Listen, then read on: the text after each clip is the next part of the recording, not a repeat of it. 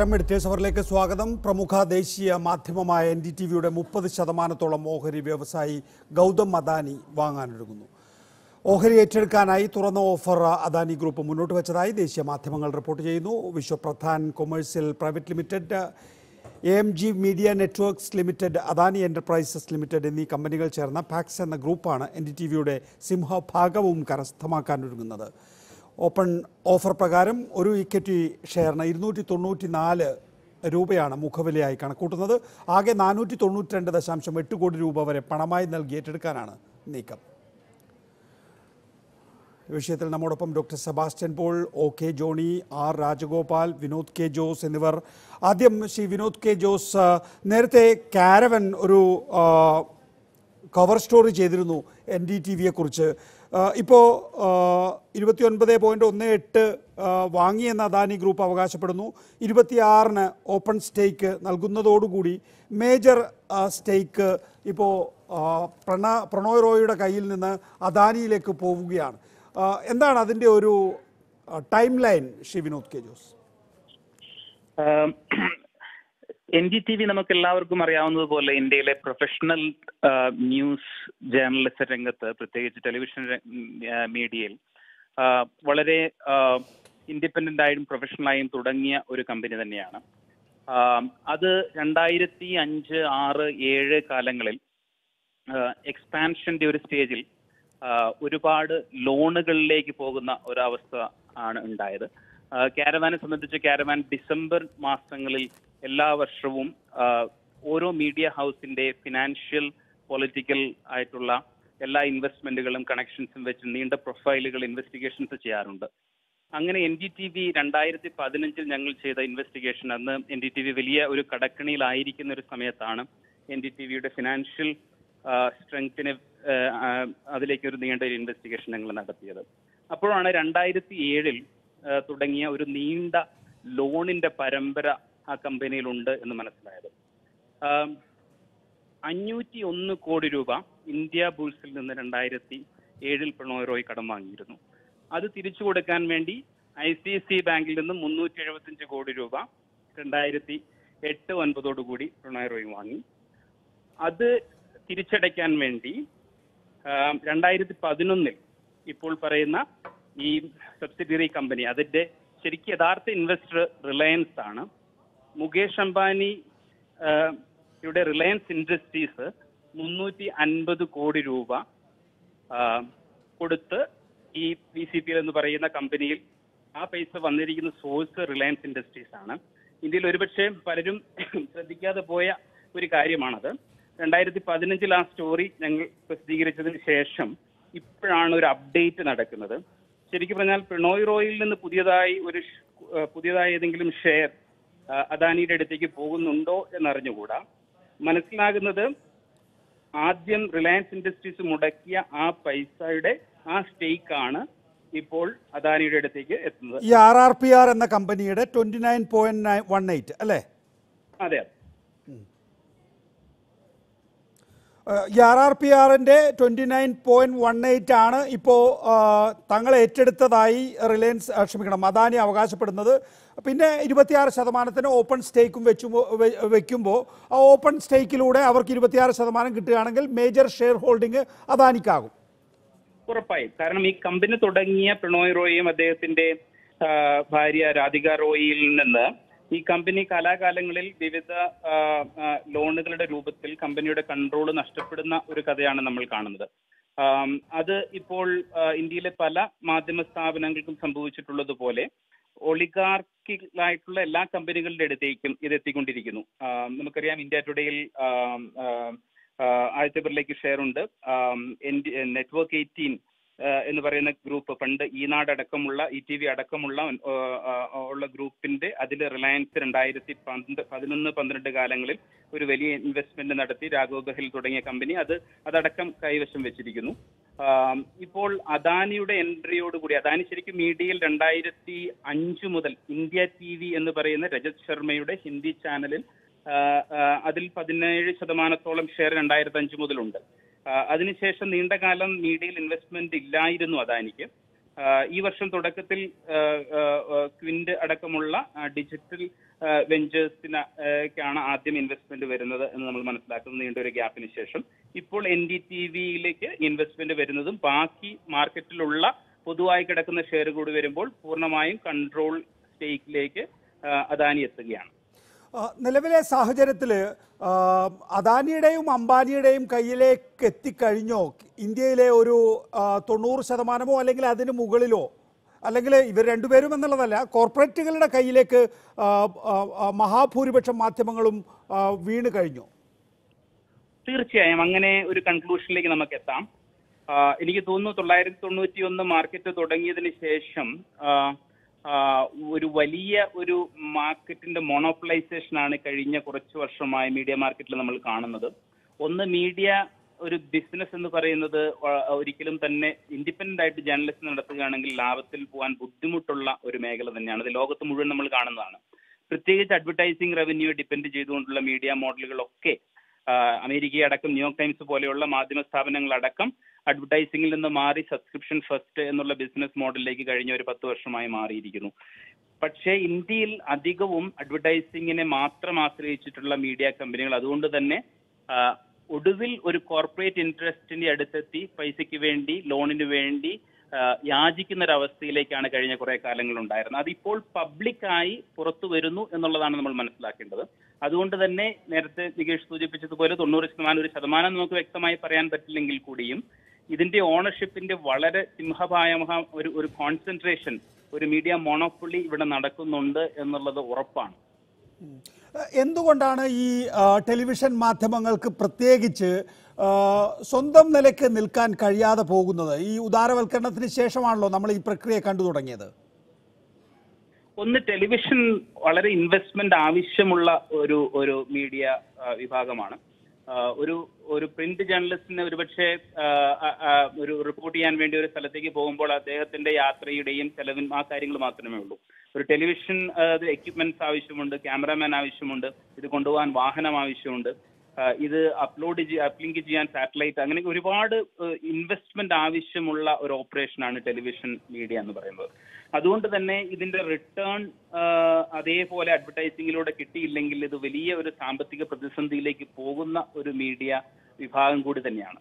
ആ, ഒരു കോണ്ടെക്സ്റ്റിലാണ് N D T വിയുടെ ഒരു ഇത് കൂടെ വായിക്കേണ്ടത്. കാരണം ഇന്ത്യയിൽ പല ഭാഗങ്ങളിലും ഒരുപക്ഷെ ആദ്യമായി അത്രയും ബ്യൂറോകൾ സെറ്റ് ചെയ്യുന്നു. പ്രൊഫഷണൽ ആയിട്ടുള്ള ഒരുപാട് ജേർണലിസ്റ്റുകളെ ഹയർ ചെയ്തു.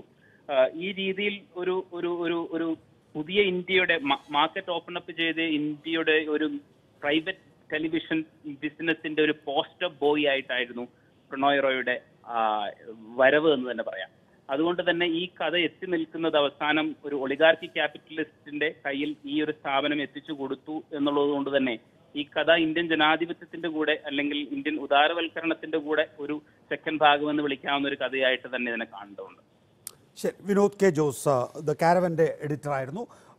ജെ ഗോപികൃഷ്ണൻ നമ്മോടൊപ്പം ചേർന്നു ദ പയനിയറിലെ ലേഖകൻ ശ്രീ ഗോപികൃഷ്ണൻ ഇപ്പോൾ ലഭ്യമാകുന്ന വിവരം അനുസരിച്ച് താങ്കളുടെ ട്വീറ്റ് ഞാൻ കണ്ടു. അൻപത്തിനാല് ശതമാനം ഓഹരി അദാനിയുടെ കയ്യിലേക്ക് എത്തുകയാണ്. അതെ അതെ അതെ. ഇത് ഗോപീഷൻ വളരെ കാലമായി എൻ ഡി ടി വിയുടെ ഷെയർ ഹോൾഡിംഗ് ഉയരുന്നതിനെ കുറിച്ചും ഒക്കെ നിരന്തരമായി ട്വീറ്റ് ചെയ്യുന്നുണ്ടായിരുന്നു. എങ്ങനെയാണ് ഇത്തരം ഇൻഫർമേഷൻ വരുന്നത്? ഇത്തരം ഇൻഫർമേഷൻ സാധാരണഗതിയിൽ രഹസ്യമായി കാണേണ്ടതാണ്. ഒരു റെഗുലേറ്ററി അതോറിറ്റിയുടെ അഭാവമാണോ? അല്ല. ഞാനിതിനകത്ത് എനിക്ക് ക- ആ സമയത്ത് നമ്മൾ നമുക്ക് ചില വാർത്തകളൊന്നും എഴുതാൻ പറ്റില്ലെങ്കിലും നമുക്ക് നമ്മുടെ സോഷ്യൽ മീഡിയയിൽ നമുക്ക് എന്തും പറയാം. ഗോപീഷൻ ഹലോ. കേൾക്കാം. ഇതിനകത്ത് നികേഷ് ഞാൻ ഇത് എൻ ഡി ടി വിയുമായി ബന്ധപ്പെട്ട കാര്യങ്ങൾ സോഷ്യൽ മീഡിയയിൽ പോസ്റ്റ് ചെയ്തിരുന്നത് എനിക്ക് വ്യക്തമായ ഒരു ഇൻഫർമേഷൻ ഒരു ശതമാനത്തിനും രണ്ട് ശതമാനത്തിനും ഇടയിൽ ഷെയർ ഉണ്ടായിരുന്ന ഒരാളിൽ നിന്ന് കിട്ടുന്ന എൻ ഡി ടി വിയിൽ ഉണ്ടായിരുന്ന ഒരാളിൽ നിന്ന് കിട്ടുന്ന ഇൻഫർമേഷൻ അനുസരിച്ചാണ് ഞാൻ ഇതൊക്കെ സോഷ്യൽ മീഡിയയിൽ വെച്ചത്. കഴിഞ്ഞ സെപ്റ്റംബർ മാസത്തിൽ അന്നേ അയാൾ എന്നോട് പറയുന്നുണ്ടായിരുന്നു ഇത് അദാനി വിൽപ്പനയ്ക്ക് പോവുകയാണ്. ഏകദേശം ആയിരം കോടിയുടെ ഡീലാണ്. അത് കറക്റ്റാണ് ഇന്ന് ഡിക്ലെയർ ചെയ്തിരിക്കുന്നത് അഞ്ഞൂറ് കോടിയുടെ ഡീലാണ്. ഹലോ കേൾക്കാം കേൾക്കാം ഗോപി. അതെ അതെ. അപ്പം ഇതിനകത്ത് നികേഷ് ഇപ്പൊ എൻ ഡി ടി വിയിൽ പ്രണോയ് റോയി രണ്ടായിരത്തി ഒൻപത് മുതൽ. അദ്ദേഹം മുകേഷ് അംബാനിക്ക് ഏകദേശം അൻപത്തിനാല് ശതമാനത്തോളം ഷെയറുകൾ ഇരുപത്തൊൻപത് ഓപ്പൺ ആയിട്ടും മറ്റ് കമ്പനികൾ വഴിയും അദ്ദേഹത്തിന്റെ ഷെയറുകൾ പ്ലഡ് ചെയ്തിട്ടുണ്ട്. ഇത് നീനാറാടിയ ടൈപ്സിൽ ഉള്ളതാണ്. നീനാറാടിയ പറയുന്നത് നമുക്ക് മുകേഷിനെ ഈ ഘട്ടത്തിൽ അല്ല പ്രണായ് റോയി ഈ ഘട്ടത്തിൽ സഹായിച്ചേ പറ്റൂ. അപ്പം അന്ന് നടത്തിയിരുന്ന കമ്പനികളിൽ നിന്നാണ് ഇവർ വിലക്ക് കൂടാതെ ഇന്ന് വളരെയധികം കേസുകൾ എൻ ഡി ടി വിക്കെതിരെ ഉണ്ട്. ആ കേസുകളൊന്നും ചാർജ് ചെയ്യപ്പെടാതെ ഇതിനകത്തൊക്കെ കൊടുക്കൽ വാങ്ങലുകൾ നടന്നിട്ടുണ്ടായിരിക്കാം. കാര്യം രണ്ടായിരത്തി പതിനേഴിൽ രജിസ്റ്റർ ചെയ്തതും രണ്ടായിരത്തി പത്തൊമ്പതിൽ രജിസ്റ്റർ ചെയ്തതുമായ കേസുകളൊന്നും ഇതുവരെ ചാർജ് ചെയ്തിട്ടുമില്ല. അപ്പൊ ഇതൊരു ടാറ്റ ബൈ ബൈ ഒരു ക്ലീൻ എസ്കേപ്പ് റൂട്ട് പ്രണയ് റോയ്ക്ക് എഴുപത്തിമൂന്ന് വയസ്സ് കഴിഞ്ഞ് അദ്ദേഹത്തിനും ഭാര്യയ്ക്കും അവരുടെ കേപ്പ് ടൗണിൽ അദ്ദേഹം മേടിച്ചിരിക്കുന്ന ബംഗ്ലാവിലെ കൂട്ട് അദ്ദേഹത്തിന് പോകാവുന്നതാണ്. നോക്കൂ ഇന്നലെ പക്ഷെ ഒരു ഡിനയിൽ രാധിക റോയും പ്രണോയ് റോയും നൽകിയിരുന്നല്ലോ. ഇന്നലെയും ഇന്നും തമ്മിലൊന്നും ഒരു വലിയ വ്യത്യാസമില്ലല്ലോ ഒരു ഷെയർ ട്രാൻസ്ഫറിന്റെ കാര്യത്തിൽ. നികേഷ് അത് നമ്മുടെ മഹാഭാരതത്തിലെ അശ്വത്ഥാമാവ് എന്ന ആന പോലെയാണ് സംഭവം.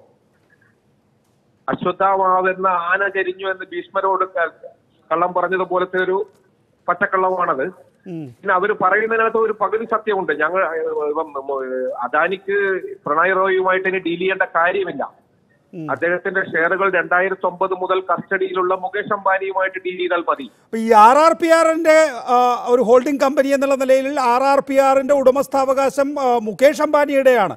ആർ ആർ പി ആറിന്റെ കാര്യത്തിൽ ഒരു സ്റ്റേക്ക് പ്രണോയ് റോയ്ക്ക് ഇല്ല അതെ ആ കമ്പനിയുടെ പേര് രാധിക റോയ് പ്രണയ് റോയ് പ്രൈവറ്റ് ലിമിറ്റഡ് എന്നാണെങ്കിൽ പോലും രണ്ടായിരത്തി ഒമ്പതിൽ അവർ അവരുടെ ഷെയറുകൾ മുഴുവൻ അത് നിയമവിരുദ്ധമാണ് സ്റ്റോക്ക് എക്സ്ചേഞ്ചിൽ ഉള്ള കമ്പനി അങ്ങനെ ചെയ്യാൻ പാടില്ല. അതൊക്കെ അവർ ഒരു അഞ്ഞൂറ് കോടിയോളം രൂപ മുകേഷ് അംബാനിയിൽ നിന്ന് മേടിക്കുകയും അദ്ദേഹത്തിന് പ്ലഡ്ജ് ചെയ്യുകയും ചെയ്തിട്ടുണ്ട്. ആ പ്ലഡ്ജിന്റെ ഭാഗമായിട്ട് വേറൊരു ഇല്ലീഗൽ പ്രൈവറ്റ് ഡീലും ഉണ്ട്. ബാക്കി രണ്ട് ലക്ഷം രൂപ കൂടി തരുന്നതോടെ ഇത് മൊത്തം ഞങ്ങളുടെ കയ്യിലായിരിക്കും. ഇങ്ങനെയൊക്കെയാണ് പല കൊടുക്കൽ വാങ്ങലുകളും നമ്മുടെ നാട്ടിലെ ബ്ലേഡ് വട്ടിപ്പലിശയുടെ പോലത്തെ ഒരു സംഭവമാണിത്. പക്ഷേ R R P R holding private ലിമിറ്റഡിന്റെ തൊണ്ണൂറ്റി ഒൻപത് ദശാംശം അഞ്ച് ശതമാനം എക്വിറ്റി ഷെയറും സ്വന്തമാക്കിയെന്ന് വി സി പി എൽ ഇന്ന് പറയുന്നു. ഇന്നലെ പറയുന്നു ആർ ആർ പി ആർ ഞങ്ങൾ കൊടുക്കാൻ ഉദ്ദേശിച്ചിട്ടില്ല എന്ന് പ്രണവ് റോയും രാധിക റോയും പറഞ്ഞതായ അവരുടെ സ്റ്റേറ്റ്മെന്റ്. അതെ. അതിനകത്ത് അവർ കൊടുക്കാൻ ഉദ്ദേശിച്ചിട്ടുണ്ടായില്ലായിരിക്കും പക്ഷെ അവരുടെ പ്ലഡ്ജ് മുഴുവൻ ഇരിക്കുന്നത് മറ്റേ കമ്പനിയുടെ കയ്യിലാണ്. അപ്പം ആ നമ്മുടെ എന്റെയും നിങ്ങളുടെയും പേരിൽ ഒരു വസ്തു കാണും. ഞാനത് ബാങ്കിൽ പ്ലഡ് ചെയ്തിട്ടുണ്ടാവും. അപ്പൊ ബാങ്ക് ഇൻട്രസ്റ്റ് കയറി കയറി ബാങ്ക് അതിന്റെ ഓണറായി മാറുന്ന ഒരവസ്ഥയാണിത്. താങ്കൾ ട്വിറ്ററിൽ പറഞ്ഞ വേറൊരു കാര്യം ഇത് നരേന്ദ്ര ദാമോദർ ദാസ് ടി വി ആയി എന്നാണ്. വേറൊരാൾ പറഞ്ഞത് N D T V N D A T V ആയി എന്നാണ്. ഏതാണ് കൂടുതൽ? അത് അദാനി ആര് ഭരിക്കുന്നു അവരുടെ ആളാണ് അദാനി എപ്പോഴും. അത് നമുക്കറിയാം അദ്ദേഹം കേരളത്തിൽ ഇൻവെസ്റ്റ് ഉണ്ടാവുമ്പോൾ ഇൻവെസ്റ്റ്മെന്റ് നടത്തുന്നതിന്റെ ഭാഗമായി എ കെ ജി സെന്ററിൽ വരുന്ന പടങ്ങൾ വന്നിട്ടുള്ളതാണ്. ആ ബിസിനസ്സുകാരൊക്കെ അങ്ങനെയൊക്കെ തന്നെയാണ് നികേഷ് അവർക്ക് അവരുടെ ഇൻവെസ്റ്റ്മെന്റ് എവിടെയായാലും സേവ് ചെയ്യണം. എല്ലാ ഇൻവെസ്റ്റ്മെന്റും ഇപ്പം അദാനിയെ എന്താ പറയാ തൃണമൂൽ കോൺഗ്രസ് ആയാലും മമതാ ബാനർജി ആയാലും അത് അംബാനിയെ എല്ലാവരും അത് നമ്മുടെ ഒരു ബിസിനസ് നടത്തുന്നവർ അത് കാലാകാലങ്ങളിലുള്ള ഭരണാധികാരികളുടെയും കൂടാതെ പ്രതിപക്ഷത്തിന്റെയും ഒക്കെ ആളുകളായിരിക്കും ഈ ഇലക്ഷൻ വരുമ്പോൾ പണം വരുന്നത് അവരിൽ നിന്നാണല്ലോ. തുടരുക ദയവായി Shri G R Rajagopal Telegraph editor Shri R Rajagopal ടെലിഗ്രാഫാണ് ഇന്ത്യയിലെ നട്ടലോടെ സർക്കാരിനെ എതിർത്ത് നിൽക്കുന്ന ഒരു ഒരേ ഒരു ദേശീയ മാധ്യമം എന്നോ അല്ലെങ്കിൽ വളരെ ചുരുക്കം ദേശീയ മാധ്യമങ്ങളിൽ ഒന്നോ എന്നുള്ളതാണ്. എൻ ഡി ടി വിയുടെ ഈ കച്ചവടത്തെ എങ്ങനെ കാണുന്നു ശ്രീ ആർ രാജഗോപാൽ? ഒരു ഒരു മാധ്യമ പ്രവർത്തകൻ എന്ന നിലയിൽ താങ്കൾ എന്താണ് സംഭവിക്കുന്നത്? The demise of the Indian media എന്ന് ചിലർ ട്വീറ്റ് ചെയ്ത് കണ്ടു. അല്ല ഞാൻ ശ്രീ വിനോദ് പറഞ്ഞ കാര്യമാണ് ഏറ്റവും പ്രധാനപ്പെട്ടത്. അതായത് നമ്മൾ ഒരിക്കലും നമ്മൾ പലപ്പോഴും ജേർണലിസ്റ്റുകളും നമ്മുടെ രാഷ്ട്രീയ അല്ലെങ്കിൽ സോഷ്യൽ കമന്റേറ്റർ എല്ലാം നമ്മൾ എപ്പോഴും ഒരു ഒരു മീഡിയ ഓർഗനൈസേഷന്റെ അവരുടെ പൊളിറ്റിക്കൽ സ്റ്റാൻഡ് അവരുടെ ക്വാളിറ്റി ഓഫ് ജേർണലിസം ഇതെല്ലാം ചർച്ച ചെയ്യുമ്പോൾ നമ്മൾ എപ്പോഴും ഇഗ്നോർ ചെയ്ത കാര്യം ഇക്കണോമിക് ഇൻഡിപെൻഡൻസ് ഓഫ് മീഡിയ. ഇനി എന്നെ സംബന്ധിച്ചോളം അത് ഏറ്റവും പ്രധാനപ്പെട്ട നമുക്ക് ഇക്കണോമിക് ഇൻഡിപെൻഡൻസ് ഇല്ലെങ്കിൽ ഒരു മീഡിയക്ക് ഒരിക്കലും പ്രവർത്തിക്കാൻ പറ്റൂല. അപ്പൊ വിനോദ് പറഞ്ഞതുപോലെ നമ്മുടെ ഇവിടെ ഒരു അഡ്വർടൈസ്മെന്റ് ഡ്രിവൺ മീഡിയ എന്ന് പറയുകയാണെങ്കിൽ അതിന് ഏറ്റവും ക്രൂഷ്യൽ ആയിട്ടുള്ളത് ഒരു ഇക്കോണമി ഇക്കോണമി നല്ല സമ്പദ് വ്യവസ്ഥ നല്ലതായി നല്ലതായിരുന്നാൽ മാത്രമേ അങ്ങനെ ഒരു സിറ്റുവേഷൻ ഈ മീഡിയക്ക് താൻ സ്വന്തം കാലിൽ നിൽക്കാൻ പറ്റുള്ളൂ. അപ്പോൾ നമ്മളിപ്പോൾ എൻ ഡി ടിവിയുടെ കാര്യം നോക്കുകയാണെങ്കിൽ അവരുടെ പ്രശ്നങ്ങൾ തുടങ്ങിയത് ഏകദേശം രണ്ടായിരത്തി ഏഴ് രണ്ടായിരത്തി എട്ട് രണ്ടായിരത്തി ഒമ്പത് ആ സമയത്ത് എക്സ്പാൻഷൻ തുടങ്ങി അക്യൂട്ട് ആവുന്നത് ടൂ തൗസൻഡ് നയനിലാണ് ആ സമയത്താണ് നമ്മുടെ സാമ്പത്തിക മാന്യം ലോകം മുഴുവൻ വന്നത്. അപ്പം ഒരു ഇക്കണോമിക് മോട്ട നമ്മൾ ഈ ബിസിനസ്സുകാരെ കുറ്റം പറയാൻ വളരെ പോണം അവർ എപ്പോഴും അവർ അവരുടെ പൈസ മനുഷ്യ ബിസിനസ്സുകാരില്ലെങ്കിൽ ആര് ഇൻവെസ്റ്റ് ചെയ്യുന്നുള്ള പ്രശ്നമുണ്ടല്ലോ. ആരെങ്കിലും ഇൻവെസ്റ്റ് ചെയ്യാതെ ഇപ്പൊ വിനോദ് പറഞ്ഞ പോലെ ഇത് it's a very heavily investment driven business media എന്നുള്ളത്. അപ്പൊ അതിനകത്ത് ആരെങ്കിലും ഇപ്പൊ ബിസിനസ് ഇൻവെസ്റ്റ് ചെയ്യുന്നതുകൊണ്ട് തെറ്റൊന്നുമില്ല. പക്ഷെ ആ ബിസിനസ് അതിനെ കൺട്രോൾ ചെയ്യാൻ തുടങ്ങുമ്പോൾ ഇപ്പം അത് നമ്മൾ ആ ബാക്ക്ഗ്രൗണ്ട് നോക്കുകയാണെങ്കിൽ ഇപ്പം പല ബിസിനസ് സ്ഥാപനങ്ങളും വാങ്ങിച്ച മീഡിയ കമ്പനീസ് അവരുടെ അവരുടെ ജേർണലിസം ഒട്ടും ആശാവഹമല്ല. വളരെ വളരെ കൺസേൺഡ് ആണ് അവരുടെ അവർ ചെയ്യുന്ന ജേർണലിസം അപ്പൊ അതുകൊണ്ട് ഇത് ഈ നടന്നത് സാധാരണ രീതിയിൽ ഒരു ഒരു ഫ്രീ കൺട്രിയിൽ അല്ലെങ്കിൽ ഫ്രീ ഇക്കോണമിയിൽ ഒരു പ്രൈവറ്റ് ഇൻവെസ്റ്റർ ഏറ്റെടുക്കുന്നു അല്ലെങ്കിൽ കാശ് കൊടുത്ത് വാങ്ങിക്കുന്നു എന്ന് പറഞ്ഞാൽ മീഡിയക്ക് we should be actually happy about കാരണം somebody seeing a future in പക്ഷേ ഇതിലിപ്പോ ഈ കാര്യത്തിൽ നമുക്ക് ഒരിക്കലും അങ്ങനെ പറയാൻ പറ്റില്ല. ഇതൊരു ഇതൊരു റിവഞ്ച് ടേക്ക് ഓവറാണ് ആണ്. ഗുജറാത്തിൽ രണ്ടായിരത്തി രണ്ടിൽ രാജ്ദീപ് സർദേശായി ലാൻഡ് ചെയ്ത് ആ റിപ്പോർട്ടിങ് അന്ന് നടത്തിയ റിപ്പോർട്ടിങ്ങിന് വേണ്ടിയുള്ള പ്രതികാര നടപടി തന്നെയാണത്. വേറൊന്നും നമുക്ക് കാണാൻ പറ്റില്ല. അതുകൊണ്ടുള്ള ഒരു വളരെ വളരെ ആശങ്ക പക്ഷെ ഞാൻ പറഞ്ഞു വീണ്ടും നമ്മൾ ഈ ബിസിനസ്സുകാരെ ഇങ്ങനെ അടിച്ച് അടച്ച് ആക്ഷേപിക്കുന്നത് അതിനോട് എനിക്ക് യോജിപ്പില്ല. കാര്യം ആര് ഇൻവെസ്റ്റേഴ്സ് ഇല്ലാതെ ഇതൊന്നും സർവ് ചെയ്യില്ല. അപ്പം നമ്മൾ പിന്നെ എങ്ങനെ സർവ് ചെയ്യും ഇൻവെസ്റ്റേഴ്സ് ഇല്ലാതെ? അപ്പൊ ഈ നമ്മൾ ഒരിക്കലും ഈ ബിസിനസ് മീഡിയയുടെ ഇക്കണോമിക്സ് ആയിട്ട് നോക്കില്ല ബിസിനസ് ആയിട്ട് നോക്കാതെ നമ്മൾ ഒരു റൊമാന്റിക് വേർഡിൽ ഇങ്ങനെ എന്റെ അടുത്ത ആൾ നിങ്ങളുടെ ഹെഡ്ലൈൻ കൊള്ളാൻ മറിച്ചു കൊള്ളാം. പക്ഷെ അതിന്റെ പിന്നിൽ നമുക്ക് പറ്റുന്ന നഷ്ടങ്ങൾ നമ്മൾ എങ്ങനെ എത്രയോ ഞങ്ങളുടെ ജീവനക്കാരുടെ പലരുടെയും ശമ്പളം കട്ട് ചെയ്യാനുള്ള പലരും ഞങ്ങൾക്ക് നമുക്ക് പല ബ്യൂറോകളും നമുക്ക് അടച്ചു അടച്ചിടേണ്ടി വന്നിട്ടുണ്ട്. അങ്ങനെ ഒരുപാട് ഒരുപാട് പ്രശ്നങ്ങൾ ഇതിന്റെ പിന്നിലുണ്ട്. അപ്പൊ ഇതൊന്നും നമ്മളൊരു ഹെഡ്ലൈൻ കാണുന്നു അല്ലെങ്കിൽ ഒരു ഒരു ചർച്ച കണ്ടിട്ട് നമ്മൾ ആന്തി ചർച്ച എന്ന് പറഞ്ഞ് കളിയാക്കുന്നു ഇവരെ ഇരിക്കുന്നവരെല്ലാം തോഴ പോസ്റ്റ് ഇടുന്നു നമ്മളതിന്റെ പിറ്റേ നമ്മുടെ ജോലിക്ക് പോകും. പക്ഷെ ഈ ജോലി ചെയ്യുന്നവരെ കുറിച്ച് ആരെങ്കിലും ആലോചിക്കണ്ടോ എന്ന് എനിക്ക് തോന്നും അപ്പം പലപ്പോഴൊക്കെ നമ്മൾ ഇതിനെക്കുറിച്ചൊക്കെ വളരെ ആലോചിക്കാറുണ്ട്. ആത്യന്തികമായി ഫൈനലിൽ നമ്മൾ നോക്കുകയാണെങ്കിൽ എന്തുകൊണ്ടാണ് ഇങ്ങനെയുള്ള ഇപ്പോൾ റിപ്പബ്ലിക് പോലെയുള്ള അങ്ങനെയുള്ള ടെലിവിഷൻ ചാനൽ എന്തുകൊണ്ടാണ് ഈ ടെലിവിഷൻ ചാനൽ സർവേ ചെയ്യുന്നത്? കാര്യം ആളുകൾ കാണുന്നുള്ളതുള്ളതാണ്. അപ്പൊ നമ്മുടെ ജനങ്ങൾക്ക് അപ്പൊ പലരും ചോദിക്കാൻ എന്തുകൊണ്ട് നരേന്ദ്രമോദി ഭരണത്തിൽ വരുന്നു? ആളുകൾ വോട്ട് ചെയ്യുന്നുണ്ട്. യു മസ്റ്റ് അക്സെപ്റ്റ് ദാറ്റ് അപ്പോൾ the quality of the viewership quality of the readership quality of the audience അതും ഇതിനകത്തുള്ളൊരു വളരെ അപ്പൊ വിന വിനഫ് ഫ്രീഡം ഇപ്പൊ ഒരു ടെലിവിഷൻ ചാനൽ നമുക്ക് ഇഷ്ടപ്പെടില്ല we can just switch off പക്ഷെ നമ്മൾ ചെയ്യുന്നില്ല നമ്മുടെ നാട്ടിൽ അത് ചെയ്യാത്തടത്തോളം ദേവിൽ അപ്പൊ നമ്മൾ പറയില്ല people get the government they deserve similarly people get the media the deserve എന്ന് ഞാൻ അത് ഇവൻച്വലി ഞാൻ അത് ആളിൽ തന്നെയാണ് ഞാൻ കുറ്റം. ഇത് കാണുന്നവരെ തന്നെയാണ് നമ്മൾ കുറ്റം പറയേണ്ടത്. ശ്രീ രാജഗോപാൽ താങ്കൾ പറഞ്ഞു രണ്ടായിരത്തി രണ്ടിലെ ഗുജറാത്ത് കലാപത്തിൽ രാജ്ദീപ് സർദേശായി അഹമ്മദാബാദ് പട്ടണത്തിൽ നിന്നുകൊണ്ട് എനിക്ക് തോന്നുന്നു ആ ഘട്ടത്തിൽ ഇന്ത്യൻ എക്സ്പ്രസ്സോ അല്ലെങ്കിൽ ടെലിഗ്രാഫോ ഒക്കെ മാത്രമേ ഉണ്ടായിരുന്നുണ്ടാവുള്ളൂ. ആ നിലയിൽ അതിനെ അവിടെ നിന്നുകൊണ്ട് വിമർശിക്കാൻ. പിന്നീട് രാജ്ദീപ് സർദേശായി പറഞ്ഞു. പക്ഷേ രവീഷ്. കുമാറിനെ പോലുള്ളവർ എൻ ഡി ടി വി ഇന്ത്യയിൽ കൂടുതലായി നിലയുറപ്പിച്ചു. വേറൊരു ടെലിവിഷൻ ജേർണലിസത്തിന്റെ മുഖം രവീഷ് കുമാർ അടക്കമുള്ളവർ നൽകി. ഇതൊരു ഹോസ് ഇന്നലെ ഞാൻ പറഞ്ഞല്ലോ പ്രണോയ് റോയും രാധിക റോയും ഒരു സ്റ്റേറ്റ്മെന്റ് പറഞ്ഞിരുന്നു. ആർ ആർ പി ആറിന്റെ ഷെയർ എന്തായാലും കൊടുക്കാനൊന്നും തീരുമാനിച്ചിട്ടില്ല എന്ന് പക്ഷേ ഇന്ന് അദാനി തന്നെ ഒരു സ്റ്റേറ്റ്മെന്റ് ഇറക്കുകയാണ്. അതിന്റെ ninety nine point five percentage equity share V C P L സ്വന്തമാക്കി എന്നുള്ളത്. നമ്മൾ അങ്ങനെ തന്നെയാണോ കാണേണ്ടത്? ഒരു ഹോസ്റ്റൽ ടേക്ക് ഓവർ എന്നുള്ള നിലയിലാണോ കാണേണ്ടത്? അതോ ഒത്തുകളി എന്നുള്ള നിലയിലോ? വേറെ വഴിയില്ല പ്രണോയ് റോയിയെ സംബന്ധിച്ചിടത്തോളം. അതെ. അല്ല അദ്ദേഹം പ്രണോയ് റോയ് ഇന്നലെ പറഞ്ഞ കാര്യം സത്യമാണ്. കാര്യം ഇന്ന് ഒരു വലിയൊരു മാറ്റം സംഭവിച്ചിട്ടുണ്ട്. ഇരുപത്തിനാല് മണിക്കൂർ സംഭവിച്ചിട്ടുണ്ട്. അതായത് ഈ ഷെയർസ് അല്ല പ്ലജ് ചെയ്ത് അവർ പ്ലജ് ചെയ്ത് വാറൻസ് എന്ന് പറഞ്ഞ ഒരു ഇൻസ്ട്രുമെന്റ് ആണ്. ഈ വാറൻസ് ലോൺ കൊടുക്കുന്ന കൊടുക്കുന്ന ആൾക്ക് ഈ warrant കൈവച്ചിട്ട് it's up to them to convert it. എപ്പോ വേണമെന്നുള്ള അവരാ തീരുമാനിക്കുന്നത്. അപ്പൊ ഞാൻ അറിഞ്ഞിടത്തോളം അത് അതാണ് ഇന്ന് രാവിലെയാണ് അവർ കൺവേർട്ട് ചെയ്തത് അപ്പൊ ഇന്നലെ പ്രണവരെ പറഞ്ഞ കാര്യം സത്യം തന്നെയാണ്. അതൊരു ഒരുമിച്ച് ചേർന്നു. ഞാൻ വളരെ പ്രധാനമായി വളരെ ബഹുമാനിക്കുന്ന. എനിക്ക് അദ്ദേഹത്തെ കുറിച്ച് കാര്യങ്ങൾ അറിയാതെ പഴിചാരാൻ യാതൊരു താല്പര്യമില്ല പക്ഷേ അങ്ങനെയാണെങ്കിൽ ഒത്തുകളി ആണെങ്കിൽ തന്നെ എന്തുകൊണ്ടായിരിക്കും അങ്ങനെ സംഭവിച്ചത്? ഒരു നിവൃത്തിയുമില്ലാതെ ഇത്രയും നല്ല രീതിയിൽ വിനോദ് പറഞ്ഞ പോലെ ഇത്രയും പ്രൊഫഷണൽ ആയിട്ടുള്ള ഓർഗനൈസേഷൻ നമ്മൾ അങ്ങനെ മുട്ടുകുത്തിച്ചെങ്കിൽ നമ്മൾക്ക് എല്ലാവർക്കും അതിനകത്ത് പങ്കുണ്ട്.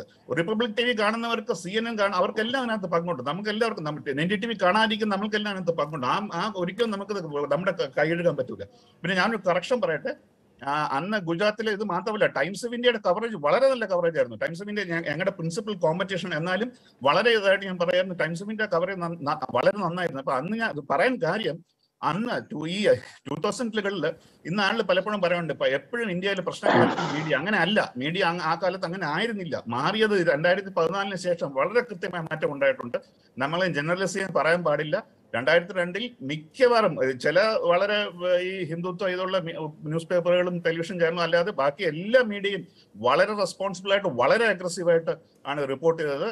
Times of India reporting from Gujarat was very good. എന്തുകൊണ്ടാണ് ആളുകൾക്ക് അവർ ക്രെഡിറ്റ് നൽകുന്നത് എനിക്ക് അറിയില്ല എതിരെയില്ല ഞാൻ പറഞ്ഞത് വളരെ ബ്രോഡ് ബേസ്ഡ് അതായിരുന്നു ജേർണലിസം ഇന്ത്യയിൽ ഒരു ഒരു ഒരാളോ ഒരു പത്രമോ അങ്ങനെ ആയിരുന്നില്ല. എല്ലാ പത്രങ്ങളും നല്ല പത്രങ്ങളും നല്ല കാര്യങ്ങളും ചെയ്ത് ചെയ്തതായിരുന്നു. പക്ഷെ നമ്മൾ ഒരിക്കലും ഇതൊന്നും നമ്മൾ അവരെ കുത്തക മുതലാളി ജൂട്ട് പ്രസ് എന്നൊക്കെ പറഞ്ഞ് ആക്ഷേപിക്കുക അവമാനിക്കുക ഇത് ഇത് ഇതൊക്കെയായിരുന്നു നമ്മുടെ വിനോദം. പക്ഷെ ഇപ്പൊ നടക്കുന്നതോ? ഇപ്പൊ വിളിക്കുന്നതിനൊക്കെ എന്താ വിളിക്കുന്നത്? നോർത്ത് കൊറിയയിൽ പോലും നടക്കാത്ത കാര്യങ്ങൾ ഇവിടെ നടക്കുന്നത് ഇന്ത്യയിൽ ഇപ്പോൾ.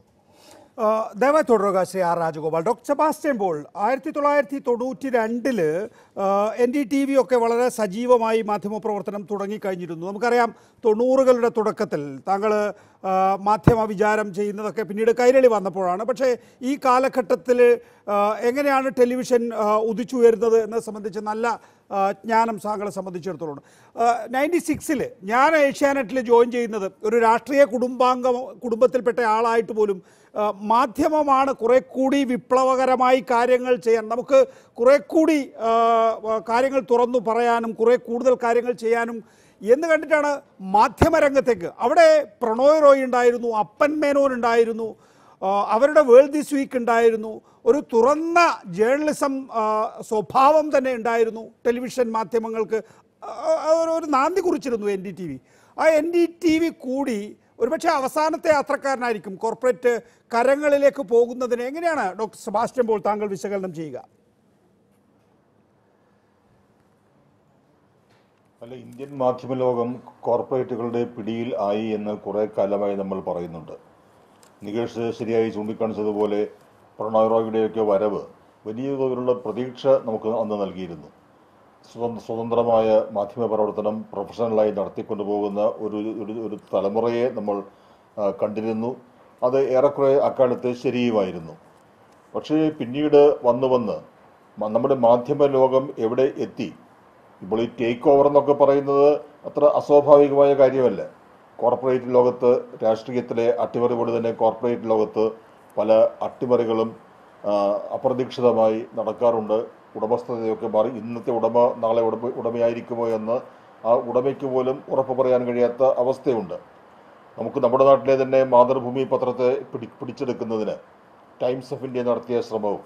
പക്ഷെ അക്കാലത്ത് അതിനെ ഫലപ്രദമായി ചെറുത്ത് തോൽപ്പിക്കാൻ കേരളത്തിലെ പൊതുസമൂഹത്തിന് കഴിഞ്ഞു. ഇന്ന് അങ്ങനെ കഴിയാത്ത രീതിയിൽ കോർപ്പറേറ്റുകൾ പിടി മുറുകിയിരിക്കുകയാണ് അവർ അതിശക്തരായി മാറിയിരിക്കുകയാണ്. മാധ്യമങ്ങളുടെ നില നിലനിൽപ്പ് അല്ലെങ്കിൽ വളരെ ഒരു പ്രിക്യൂറിയസ് പൊസിഷനാണ് രാത്രി മരക്കൊമ്പിലിരിക്കുന്ന കോഴി സുരക്ഷിത സുരക്ഷിതമാണ് എന്ന് കരുതുന്നുണ്ടെങ്കിലും താഴെ ഒരു കുറുക്കൻ വന്ന് തുറിച്ചു നോക്കിയാൽ ആ കോഴി താഴെ വീണിരിക്കും. അതാണ് അതിന്റെ അതിന്റെ നിയമം. എന്ന് പറയുന്നത് പോലെ കോർപ്പറേറ്റുകൾ എന്ത് ആഗ്രഹിക്കുന്നുവോ എവിടേക്ക് നോക്കുന്നുവോ അത് അവരുടെ കയ്യിൽ എത്തിയിരിക്കും. നമ്മളിപ്പോൾ ഇന്ത്യയിൽ നമ്മൾ ഇന്ത്യക്കാർ കാണുന്ന മാധ്യമങ്ങളിൽ എൺപത് ശതമാനവും അഡാ ഒരു കുടുംബത്തിന്റെ റിലയൻസ് കമ്പനിയുടെ അംബാനിയുടെ വകയാണ് എന്ന് ഒരു വാർത്ത നേരത്തെ കണ്ടിരുന്നു. ആ തൊണ്ണൂറ് ഇപ്പോൾ വീണ്ടും വർദ്ധിക്കുകയാണ് എന്ന് തോന്നുന്നു. കൂടുതൽ കൂടുതൽ അഡീഷൻസ് അക്വിസിഷൻസ് വന്നുകൊണ്ടിരിക്കുകയാണ്. ഇത് കോർപ്പറേറ്റ് ലോകത്തെ അല്ലെങ്കിൽ മാധ്യമങ്ങളുടെ സാമ്പത്തിക ശാസ്ത്രത്തെ എപ്രകാരം ബാധിക്കും എന്നതിനേക്കാൾ ഉപരിയായി വാർത്തകളുടെ കേന്ദ്രീകരണം അഭിപ്രായ അഭിപ്രായം രൂപീകരിക്കുന്നവരെ സ്വാധീനിക്കുന്നതിനുള്ള കോർപ്പറേറ്റുകളുടെ മൊത്തത്തിലുള്ള കഴിവ് അത് നമ്മുടെ ജനാധിപത്യത്തെ എങ്ങനെ ബാധിക്കും എന്ന ചിന്ത വളരെ ഗൗരവമായി നമ്മൾ നടത്തേണ്ടിയിരിക്കുന്നു. കാരണം ലോകം മുഴുവൻ നമ്മൾ പണ്ട് കണ്ട മാധ്യമ ഭീമന്മാരൊന്നുമല്ല. റൂപ്പർട്ട് മർഡോക്ക് നമ്മൾ ഇപ്പോൾ കേൾക്കുന്നില്ലല്ലോ. റൂപ്പർട്ട് മർഡോക്കിനെയൊക്കെ അതൊക്കെ നിഷ്പ്രഭമാക്കി നിഷ്പ്രഭനാക്കിക്കൊണ്ട് പുതിയ കോർപ്പറേറ്റ് ഭീമന്മാരും പുതിയ കോർപ്പറേറ്റ് ശക്തികളും പുതിയ തന്ത്രങ്ങളുമായി മാധ്യമലോകം കീഴ്പ്പെടുത്താൻ എത്തിക്കഴിഞ്ഞു. ശ്രീ ജെ ഗോപികൃഷ്ണൻ നേരത്തെ തന്നെ ഒരേ തരം വാർത്തകൾ മാത്രം വായനക്കാരിലേക്ക് പ്രേക്ഷകനിലേക്ക് എത്തുന്നതിൽ പലരും ആശങ്ക പ്രകടിപ്പിച്ചിട്ടുണ്ട്. മിനിസ്ട്രിക്ക് തന്നെ അത്തരത്തിലുള്ള നോട്ടുകൾ പല ഘട്ടങ്ങളിലായിട്ടുണ്ടായിട്ടുണ്ട് ഗോപീഷിനെ സംബന്ധിച്ചിടത്തോളം ഇപ്പോൾ അദാനി ആയിക്കൊള്ളട്ടെ അംബാനി ആയിക്കൊള്ളട്ടെ ഇവരിലേക്ക് ഈ മാധ്യമ ഗോപീഷനും ഏതാണ്ട് ഈ കാലഘട്ടത്തിലൂടെ ഡൽഹിയിൽ സഞ്ചരിച്ചിട്ടുള്ള ആളാണല്ലോ. എന്ത് മാറ്റമാണ് മാധ്യമരംഗത്ത് വരു വന്നിട്ടുള്ളത് ശ്രീ ഗോപീഷൻ? ഞാൻ ഇതിന് ഉത്തരം പറയുന്നതിന് മുമ്പേ ഞാൻ ചെറിയൊരു കറക്ഷൻ സെബാസ്റ്റ്യൻ ബോർഡിന് പുതിയൊരു ഇൻഫർമേഷൻ പറയുകയാണ്. റൂപ്പർട്ട് മാഡോക്ക് ഇപ്പോഴും ജീവനോടെ ഇരിപ്പുണ്ട്. ഇനി അദ്ദേഹത്തിന്റെ അല്ല അതായത് നമ്മുടെ ഇപ്പോൾ ഇപ്പോഴത്തെ ലേറ്റസ്റ്റ് ഡീൽ എന്ന് പറയുന്നത് ധീരുഭായ് അംബാനിക്ക് മാധ്യമങ്ങളിലുള്ള അത്ര വലിയ താല്പര്യം കുറഞ്ഞു വരികയാണ്. ധീരുഭായ് അംബാനിയുടെ നെറ്റ്വർക്ക് എയ്റ്റീൻ റോബർട്ട് മഡോക്കുമായി ചേർന്നിട്ട് ഒരു പതിനയ്യായിരം കോടിയുടെ ഒരു ഡീലിൽ കഴിഞ്ഞ മാസം ഒപ്പുവെച്ചിട്ടേ ഉള്ളൂ. അദ്ദേഹം റോബർട്ട് മഡോക്കുമായി ചേർന്ന ഒരു ജോയിന്റ് കൺസോർഷ്യം പോലത്തെ എന്തോ ഒരു കച്ചവടത്തിന് അംബാനി ഇപ്പോൾ ഇറങ്ങി തിരിച്ചിരിക്കുകയാണ്. പിന്നെ മാധ്യമങ്ങളിൽ നികേഷ് എന്താ പറയാ ഈ ലോകം ഒരു ബിസിനസ് ആണല്ലോ. നികേഷ് ഞങ്ങളൊക്കെ ജേർണലിസ്റ്റ് രീതിയിലൊക്കെ നികേഷ് ബിസിനസിന്റെ ഒരു വശം കൂടെ കണ്ട ഒരാളാണ്. നികേഷിന് അറിയാമല്ലോ അത് താങ്കളൊക്കെ തുടങ്ങിയ ഇന്ത്യ വിഷനിൽ എന്തൊക്കെയാണ് താങ്കൾ നടത്തിക്കൊണ്ടിരിക്കുക ചില സമയത്ത് നമ്മുടെ ദാക്ഷായണി ക്രിക്കറ്റിൽ മോഹൻലാലിന്റെ റോഡിൽ ബാങ്ക് വരും ഇലക്ട്രിസിറ്റി ബോർഡ് വരും. ഇതൊക്കെ ഒരു ബിസിനസ് ആവുമ്പോൾ ഇതുപോലത്തെ ഒരുപാട് ടെൻഷൻസ് പ്രണയറോയുടെ മുകളിൽ ഉണ്ടായിരുന്നു അദ്ദേഹത്തിന് ഒരുപാട് ടാക്സ് ബാധ്യതകൾ വന്നു. അതിനുശേഷം സി ബി ഐയുടെ ബാങ്കിന്റെ മായി ബന്ധപ്പെട്ട കേസുകൾ വന്നു. പിന്നീട് മറ്റ് ഫോറിൻ രാജ്യങ്ങൾ കമ്പനി തുടങ്ങിയതുമായി അപ്പം ഈ കുറെ കഴിയുമ്പം അദ്ദേഹവും വിട്ടുകളയാൻ തീരുമാനിച്ചിരിക്കാം. അതായിരിക്കാം അദ്ദേഹം ഇങ്ങനെ തീരുമാനത്തിലെത്തുന്നത്. പിന്നെ നമ്മുടെ മാധ്യമ ലോകത്ത് ഒക്കെ നമ്മൾ കണ്ടുകൊണ്ടിരിക്കുകയാണ് കാര്യം നമ്മൾ ഞങ്ങളൊക്കെ സ്കൂളിൽ പഠിക്കും. സെബാസ്റ്റ്യൻ പോൾ സാർ ഒഴികെ പലരും നമ്മളൊക്കെ ജേർണലിസ്റ്റ് ആകർഷ്ടനായത് ഇന്ത്യൻ എക്സ്പ്രസിന്റെ റിലയൻസിനെതിരെയുള്ള ഫൈറ്റ് ആയിരുന്നു അതിന് അരുൺ സൗരി രാംനാഥ് ഗോയങ്ക ഗുരുമൂർത്തി തുടങ്ങിയവരുടെ നേതൃത്വത്തിൽ അന്ന് ഇന്ത്യൻ എക്സ്പ്രസിന് എഴുതിയിട്ട് ലേഖനങ്ങൾ ഉണ്ടായിരുന്നു. ഇന്ന് ആ ഇന്ത്യൻ എക്സ്പ്രസ് എവിടെ നിൽക്കുന്നു ഇതൊക്കെ നമ്മൾ ഈ കാലത്തിന്റെ പല പല കാണാൻ ഇങ്ങനെ സാക്ഷികളായിരിക്കുക എന്നുള്ളതാണ് നമുക്ക് ചെയ്യാവുന്ന ഒരു കാര്യം. നമുക്ക് ഒരേ നെറേറ്റീവിലുള്ള വാർത്തകൾ വരുമ്പോൾ നമുക്കൊന്നും ഇപ്പോൾ ബുദ്ധിമുട്ടില്ല. പക്ഷേ അത് ജനാധിപത്യത്തെ അപകടപ്പെടുത്തും. ശ്രീ ജെ ഗോപികൃഷ്ണൻ അല്ലേ? മുമ്പാണെങ്കിൽ ഇപ്പോൾ പത്രങ്ങളെ മാത്രം എടുക്കാം. ഇന്ത്യൻ എക്സ്പ്രസിന് കൃത്യമായ ഒരു എഡിറ്റോറിയൽ ഉണ്ടായിരുന്നു. ദ ഹിന്ദുവിന് ഒരു എഡിറ്റോറിയൽ ഉണ്ടായിരുന്നു. ടൈംസ് ഓഫ് ഇന്ത്യയ്ക്ക് ഒരു എഡിറ്റോറിയൽ ഹിന്ദുസ്ഥാൻ ടൈംസിന് ടെലിഗ്രാഫിന് പ്രമുഖ പത്രങ്ങളെല്ലാം നമ്മൾ അഞ്ച് പത്രം വായിച്ചാൽ അഞ്ച് വീക്ഷണങ്ങൾ നമുക്ക് കിട്ടുമായിരുന്നു. അഞ്ച് തരം വാർത്തകൾ കിട്ടുമായിരുന്നു. അതിന്റെ ശരിയെന്ന് അവർക്ക് തോന്നുന്ന രീതിയിലുള്ള അത് പൂർണമായി ഇല്ലാതായില്ലേ ഇപ്പോൾ അതെ നമുക്ക് ഇതിനകത്ത് പ്രതീക്ഷിക്കാവുന്നത് ഒരു ജേർണലിസ്റ്റുകളുടെ ഒരു സമൂഹം ഒരു ജേർണലിസ്റ്റുകളുടെ ഒരു കൂട്ടുകെട്ട് ഒക്കെ ഉണ്ടാവുകയും ഇതിനെ ചെറുത്തുനിൽപ്പ് നിൽപ്പ് ആയി തുടരുക എന്നുള്ളതല്ലാതെ ഒരു പോസിറ്റീവായ രീതിയിൽ നമുക്ക് ചിന്തിക്കാവുന്നതാണ്. ജേർണലിസ്റ്റുകളുടെ ഒരു കൂട്ടായ്മയും ഒക്കെ ഉണ്ടാവുകയും ഇത് ഇത്തരം കോർപ്പറേറ്റ് താല്പര്യങ്ങൾക്കെതിരെ ഒരു ചെറുത്തുനിൽപ്പ്. ശരി. ഓക്കെ ജോണി. ആ, അപകടങ്ങൾ എന്തെങ്കിലും അപകടങ്ങൾ ഉണ്ടോ ഉണ്ടെങ്കിൽ അതെന്താണ്? ഈ അപകടം നമ്മൾ രണ്ടായിരത്തി പതിനാല് തൊട്ട് കാണുന്നു. ഒരുപക്ഷെ അടിയന്തരാവസ്ഥ കാലത്ത് പ്രഖ്യാപിതമായ ഒരു അടിയന്തരാവസ്ഥ ഇത് രണ്ടായിരത്തി പതിനാലിന്റെ പ്രക്രിയയാണ്. അത് നേരത്തെ ശ്രീ ആർ രാജഗോപാൽ പറഞ്ഞു. അത് കൃത്യമായി നല്ല ചെരിവുണ്ടായി. ആർ രാജഗോപാൽ ചൂണ്ടിക്കാണിച്ച പോലെ തൊണ്ണൂറ്റി രണ്ട് മുതൽ അതിന്റെ തുടക്കമായില്ലേ? അതിന്റെ തുടക്കമായി. ഇപ്പൊ ഉദാഹരണത്തിന് ഇപ്പൊ എൻ ഡി ടി വിയുടെ കാര്യമാണല്ലോ നമ്മൾ ചർച്ച ചെയ്യുന്നത്. ഈ പ്രണോയ് റോയിയെ സ്ഥാപനത്തെ മാധ്യമ സ്ഥാപനത്തെ പലതരത്തിൽ ബുദ്ധിമുട്ടിലാക്കാൻ വേണ്ടിയുള്ള റെയ്ഡുകൾ നേരത്തെ ഗോപികൃഷ്ണനും രാജഗോപാലും ഒക്കെ അത് പറഞ്ഞു. നേരത്തെ തന്നെ തുടങ്ങിയിരുന്നു. അപ്പൊ ഇത്തരം പ്രതിപക്ഷ പാർട്ടിയുടെ നേതാക്കളെ എന്ന പോലെ ഭരണകൂടത്തിന്റെ പലതരം പിന്നെ ഡിപ്പാർട്ട്മെന്റുകളെ ഉപയോഗിച്ചുകൊണ്ട് അവരെ ഒരു ഭയത്തിന്റെ നിഴലിൽ നിർത്താനും അവർ കുറ്റവാളികളാണെന്ന് പൊതുസമൂഹത്തിൽ ഒരു ധാരണ സൃഷ്ടിക്കാനും ഭരണകൂടത്തിന് കഴിഞ്ഞിട്ടുണ്ട്. ഇപ്പൊ ഭരണകൂടവും കോർപ്പറേറ്റും കോർപ്പറേറ്റുകളും തമ്മിലുള്ള പാരസ്പര്യത്തിന്റെ ലക്ഷണങ്ങൾ നമ്മളിപ്പോ ഈ സംസാരിച്ചുകൊണ്ടിരിക്കുന്ന നിമിഷത്തിൽ ഇപ്പൊ അദാനിയുടെ പോർട്ടിനെ കുറിച്ചാണ് കേരളത്തിൽ നടക്കുന്ന ചർച്ച. ഭരണകൂടം കോർപ്പറേറ്റുകളെയും കോർപ്പറേറ്റുകൾ ഭരണകൂടത്തെയും ഉപയോഗിച്ചുകൊണ്ട് ഒരു ഡെമോക്രസിയെ അട്ടിമറിക്കുന്നതിന്റെ ലക്ഷണങ്ങൾ ലക്ഷണങ്ങളല്ല അതിന്റെ പിന്നെ തെളിവുകളാണ് നമ്മുടെ നാട്ടിൽ പല മേഖലകളിലായി നടന്നുകൊണ്ടിരിക്കുന്നത്. ഇപ്പൊ എൻ ഡി ടി വിയെ പോലുള്ള ഒരു സ്ഥാപനം എത്ര കാലം പിടിച്ചു നിന്നു എന്നതിൽ നമ്മളെ പോലുള്ളവരെല്ലാം അത്ഭുതപ്പെടുന്നു. കാരണം ഭരണകൂടത്തിന്റെ നയങ്ങളോട് യാതൊരു കോംപ്രമൈസും ഇല്ലാതെ വളരെ നിഷ്പക്ഷമായി സത്യസന്ധമായി പ്രവർത്തിക്കുന്ന വിരലിൽ എണ്ണാവുന്ന ഒറ്റക്കായി വിരലിൽ എണ്ണാവുന്ന ഒരു നാഷണൽ മീഡിയ ഹൗസ് ആണത്. അപ്പൊ അവരെ ഭീഷണിപ്പെടുത്തുക ഭീഷണി നടക്കാതെ വരുമ്പോൾ ഭരണകൂടത്തെ തന്നെ നിലനിർത്തുന്ന കോർപ്പറേറ്റുകൾ ഇതിനെ ടേക്ക് ഓവർ ചെയ്യാൻ ശ്രമിക്കുക. നേരത്തെ രാജഗോപാലൊക്കെ പറഞ്ഞ സെബാസ്റ്റിൻ സെബാസ്റ്റ്യൻ ബോൾ സാർ പറഞ്ഞതുപോലെ മാതൃഭൂമിക്കെതിരെ ടേക്ക് ഓവർ ഉണ്ടായത് രാഷ്ട്രീയപരമായ കാരണങ്ങളാൽ ആയിരുന്നില്ല. നമുക്ക് എല്ലാവർക്കും അറിയുന്ന പോലെ മറ്റൊരു മാധ്യമ സ്ഥാപനമാണ് ഈ മാധ്യമ സ്ഥാപനത്തെ ടേക്ക് ഓവർ ചെയ്യാൻ ശ്രമിച്ചിരുന്നത്. പക്ഷേ ഇന്ന് സ്ഥിതി മാറിയിരിക്കുന്നു. അങ്ങനെ ഒരു ടേക്ക് ഓവർ ഉണ്ടായപ്പോ കേരളം അതിനെ ചെറുത്ത് നിന്നു. പക്ഷെ ഇങ്ങനെ ഒരു ടേക്ക് ഓവർ കേരളം അറിയുന്നത് പോലും ഭാവിക്കുന്നുണ്ടോ? അല്ലെങ്കിൽ ഇന്ത്യ അറിയുന്നതായി പോലും ഭാവിക്കുന്നുണ്ടോ?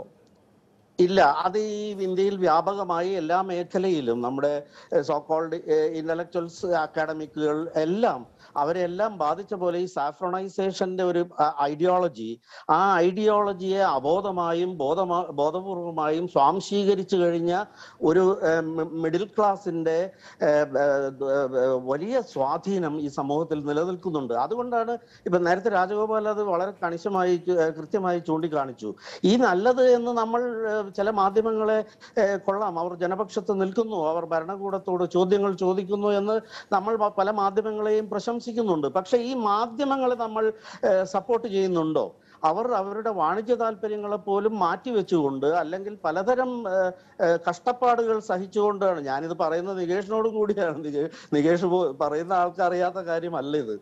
അപ്പൊ അത്തരം റിസ്ക് എടുക്കുന്ന മാധ്യമങ്ങളെ പിന്തുണയ്ക്കാൻ ജനങ്ങളുടെ ഭാഗത്തു നിന്നും വിശേഷിച്ചും ജനാധിപത്യത്തിന് വേണ്ടി നിലകൊള്ളുന്ന പൗരാവകാശങ്ങൾക്കും മനുഷ്യാവകാശങ്ങൾക്കും വേണ്ടി നിലകൊള്ളുന്ന മാധ്യമങ്ങളെ പിന്തുണയ്ക്കാൻ ജനങ്ങൾക്കും ബാധ്യതയുണ്ട്.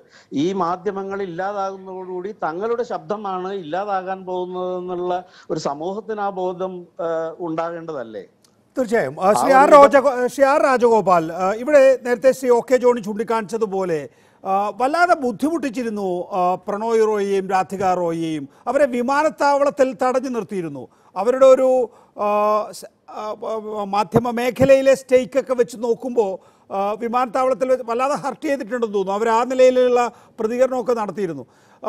മറ്റ് വഴികളില്ല സാമ്പത്തികമായി എന്ന് അവരെ ബോധ്യപ്പെടുത്തുന്നതിനോടൊപ്പം തന്നെ നിങ്ങൾക്ക് ഇന്ത്യയിൽ തുടരാനാകില്ല ഇങ്ങനെ പോയാൽ എന്ന സന്ദേശം ഭരണകൂടം അവർക്ക് നൽകിയിരുന്നില്ലേ ശ്രീ ആർ രാജഗോപാൽ?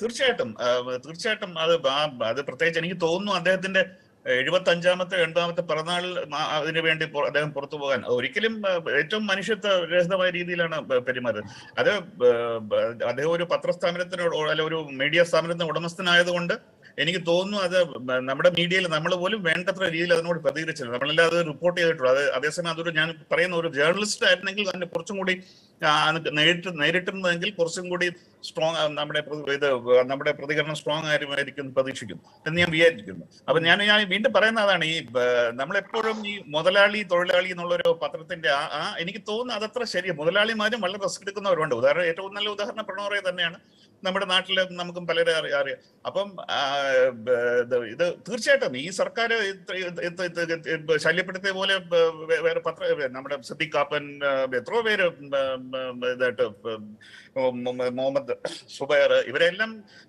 നോക്ക് തീസ്ത സത്തൽവാദ് ഇവരെ ഇവരെല്ലാം തീസ്ത ശരിക്കും ഒരു ജേർണലിസ്റ്റ് ആണ്. നമ്മൾ റൈറ്റ്സ് ഡിഫൻഡർ എന്ന് പറയുന്നത് ശരിക്കും നമ്മൾ നമ്മുടെ കൂട്ടത്തിലുള്ള ഒരാളാണ്. പക്ഷെ നമ്മൾ എനിക്ക് തോന്നുന്നില്ല നമ്മൾ അവരെ ഒന്നും വേണ്ട രീതിയിൽ പ്രൊട്ടക്ട് ചെയ്യാൻ എന്തെങ്കിലും ചെയ്തിട്ടുണ്ട്? എന്ത് ചെയ്തത് എനിക്ക് അറിയില്ല. നിസ്സഹായതയിൽ ഞാൻ സംസാരിക്കുന്നത് എനിക്ക് അറിയില്ല എന്ത് ചെയ്യണമെന്ന്.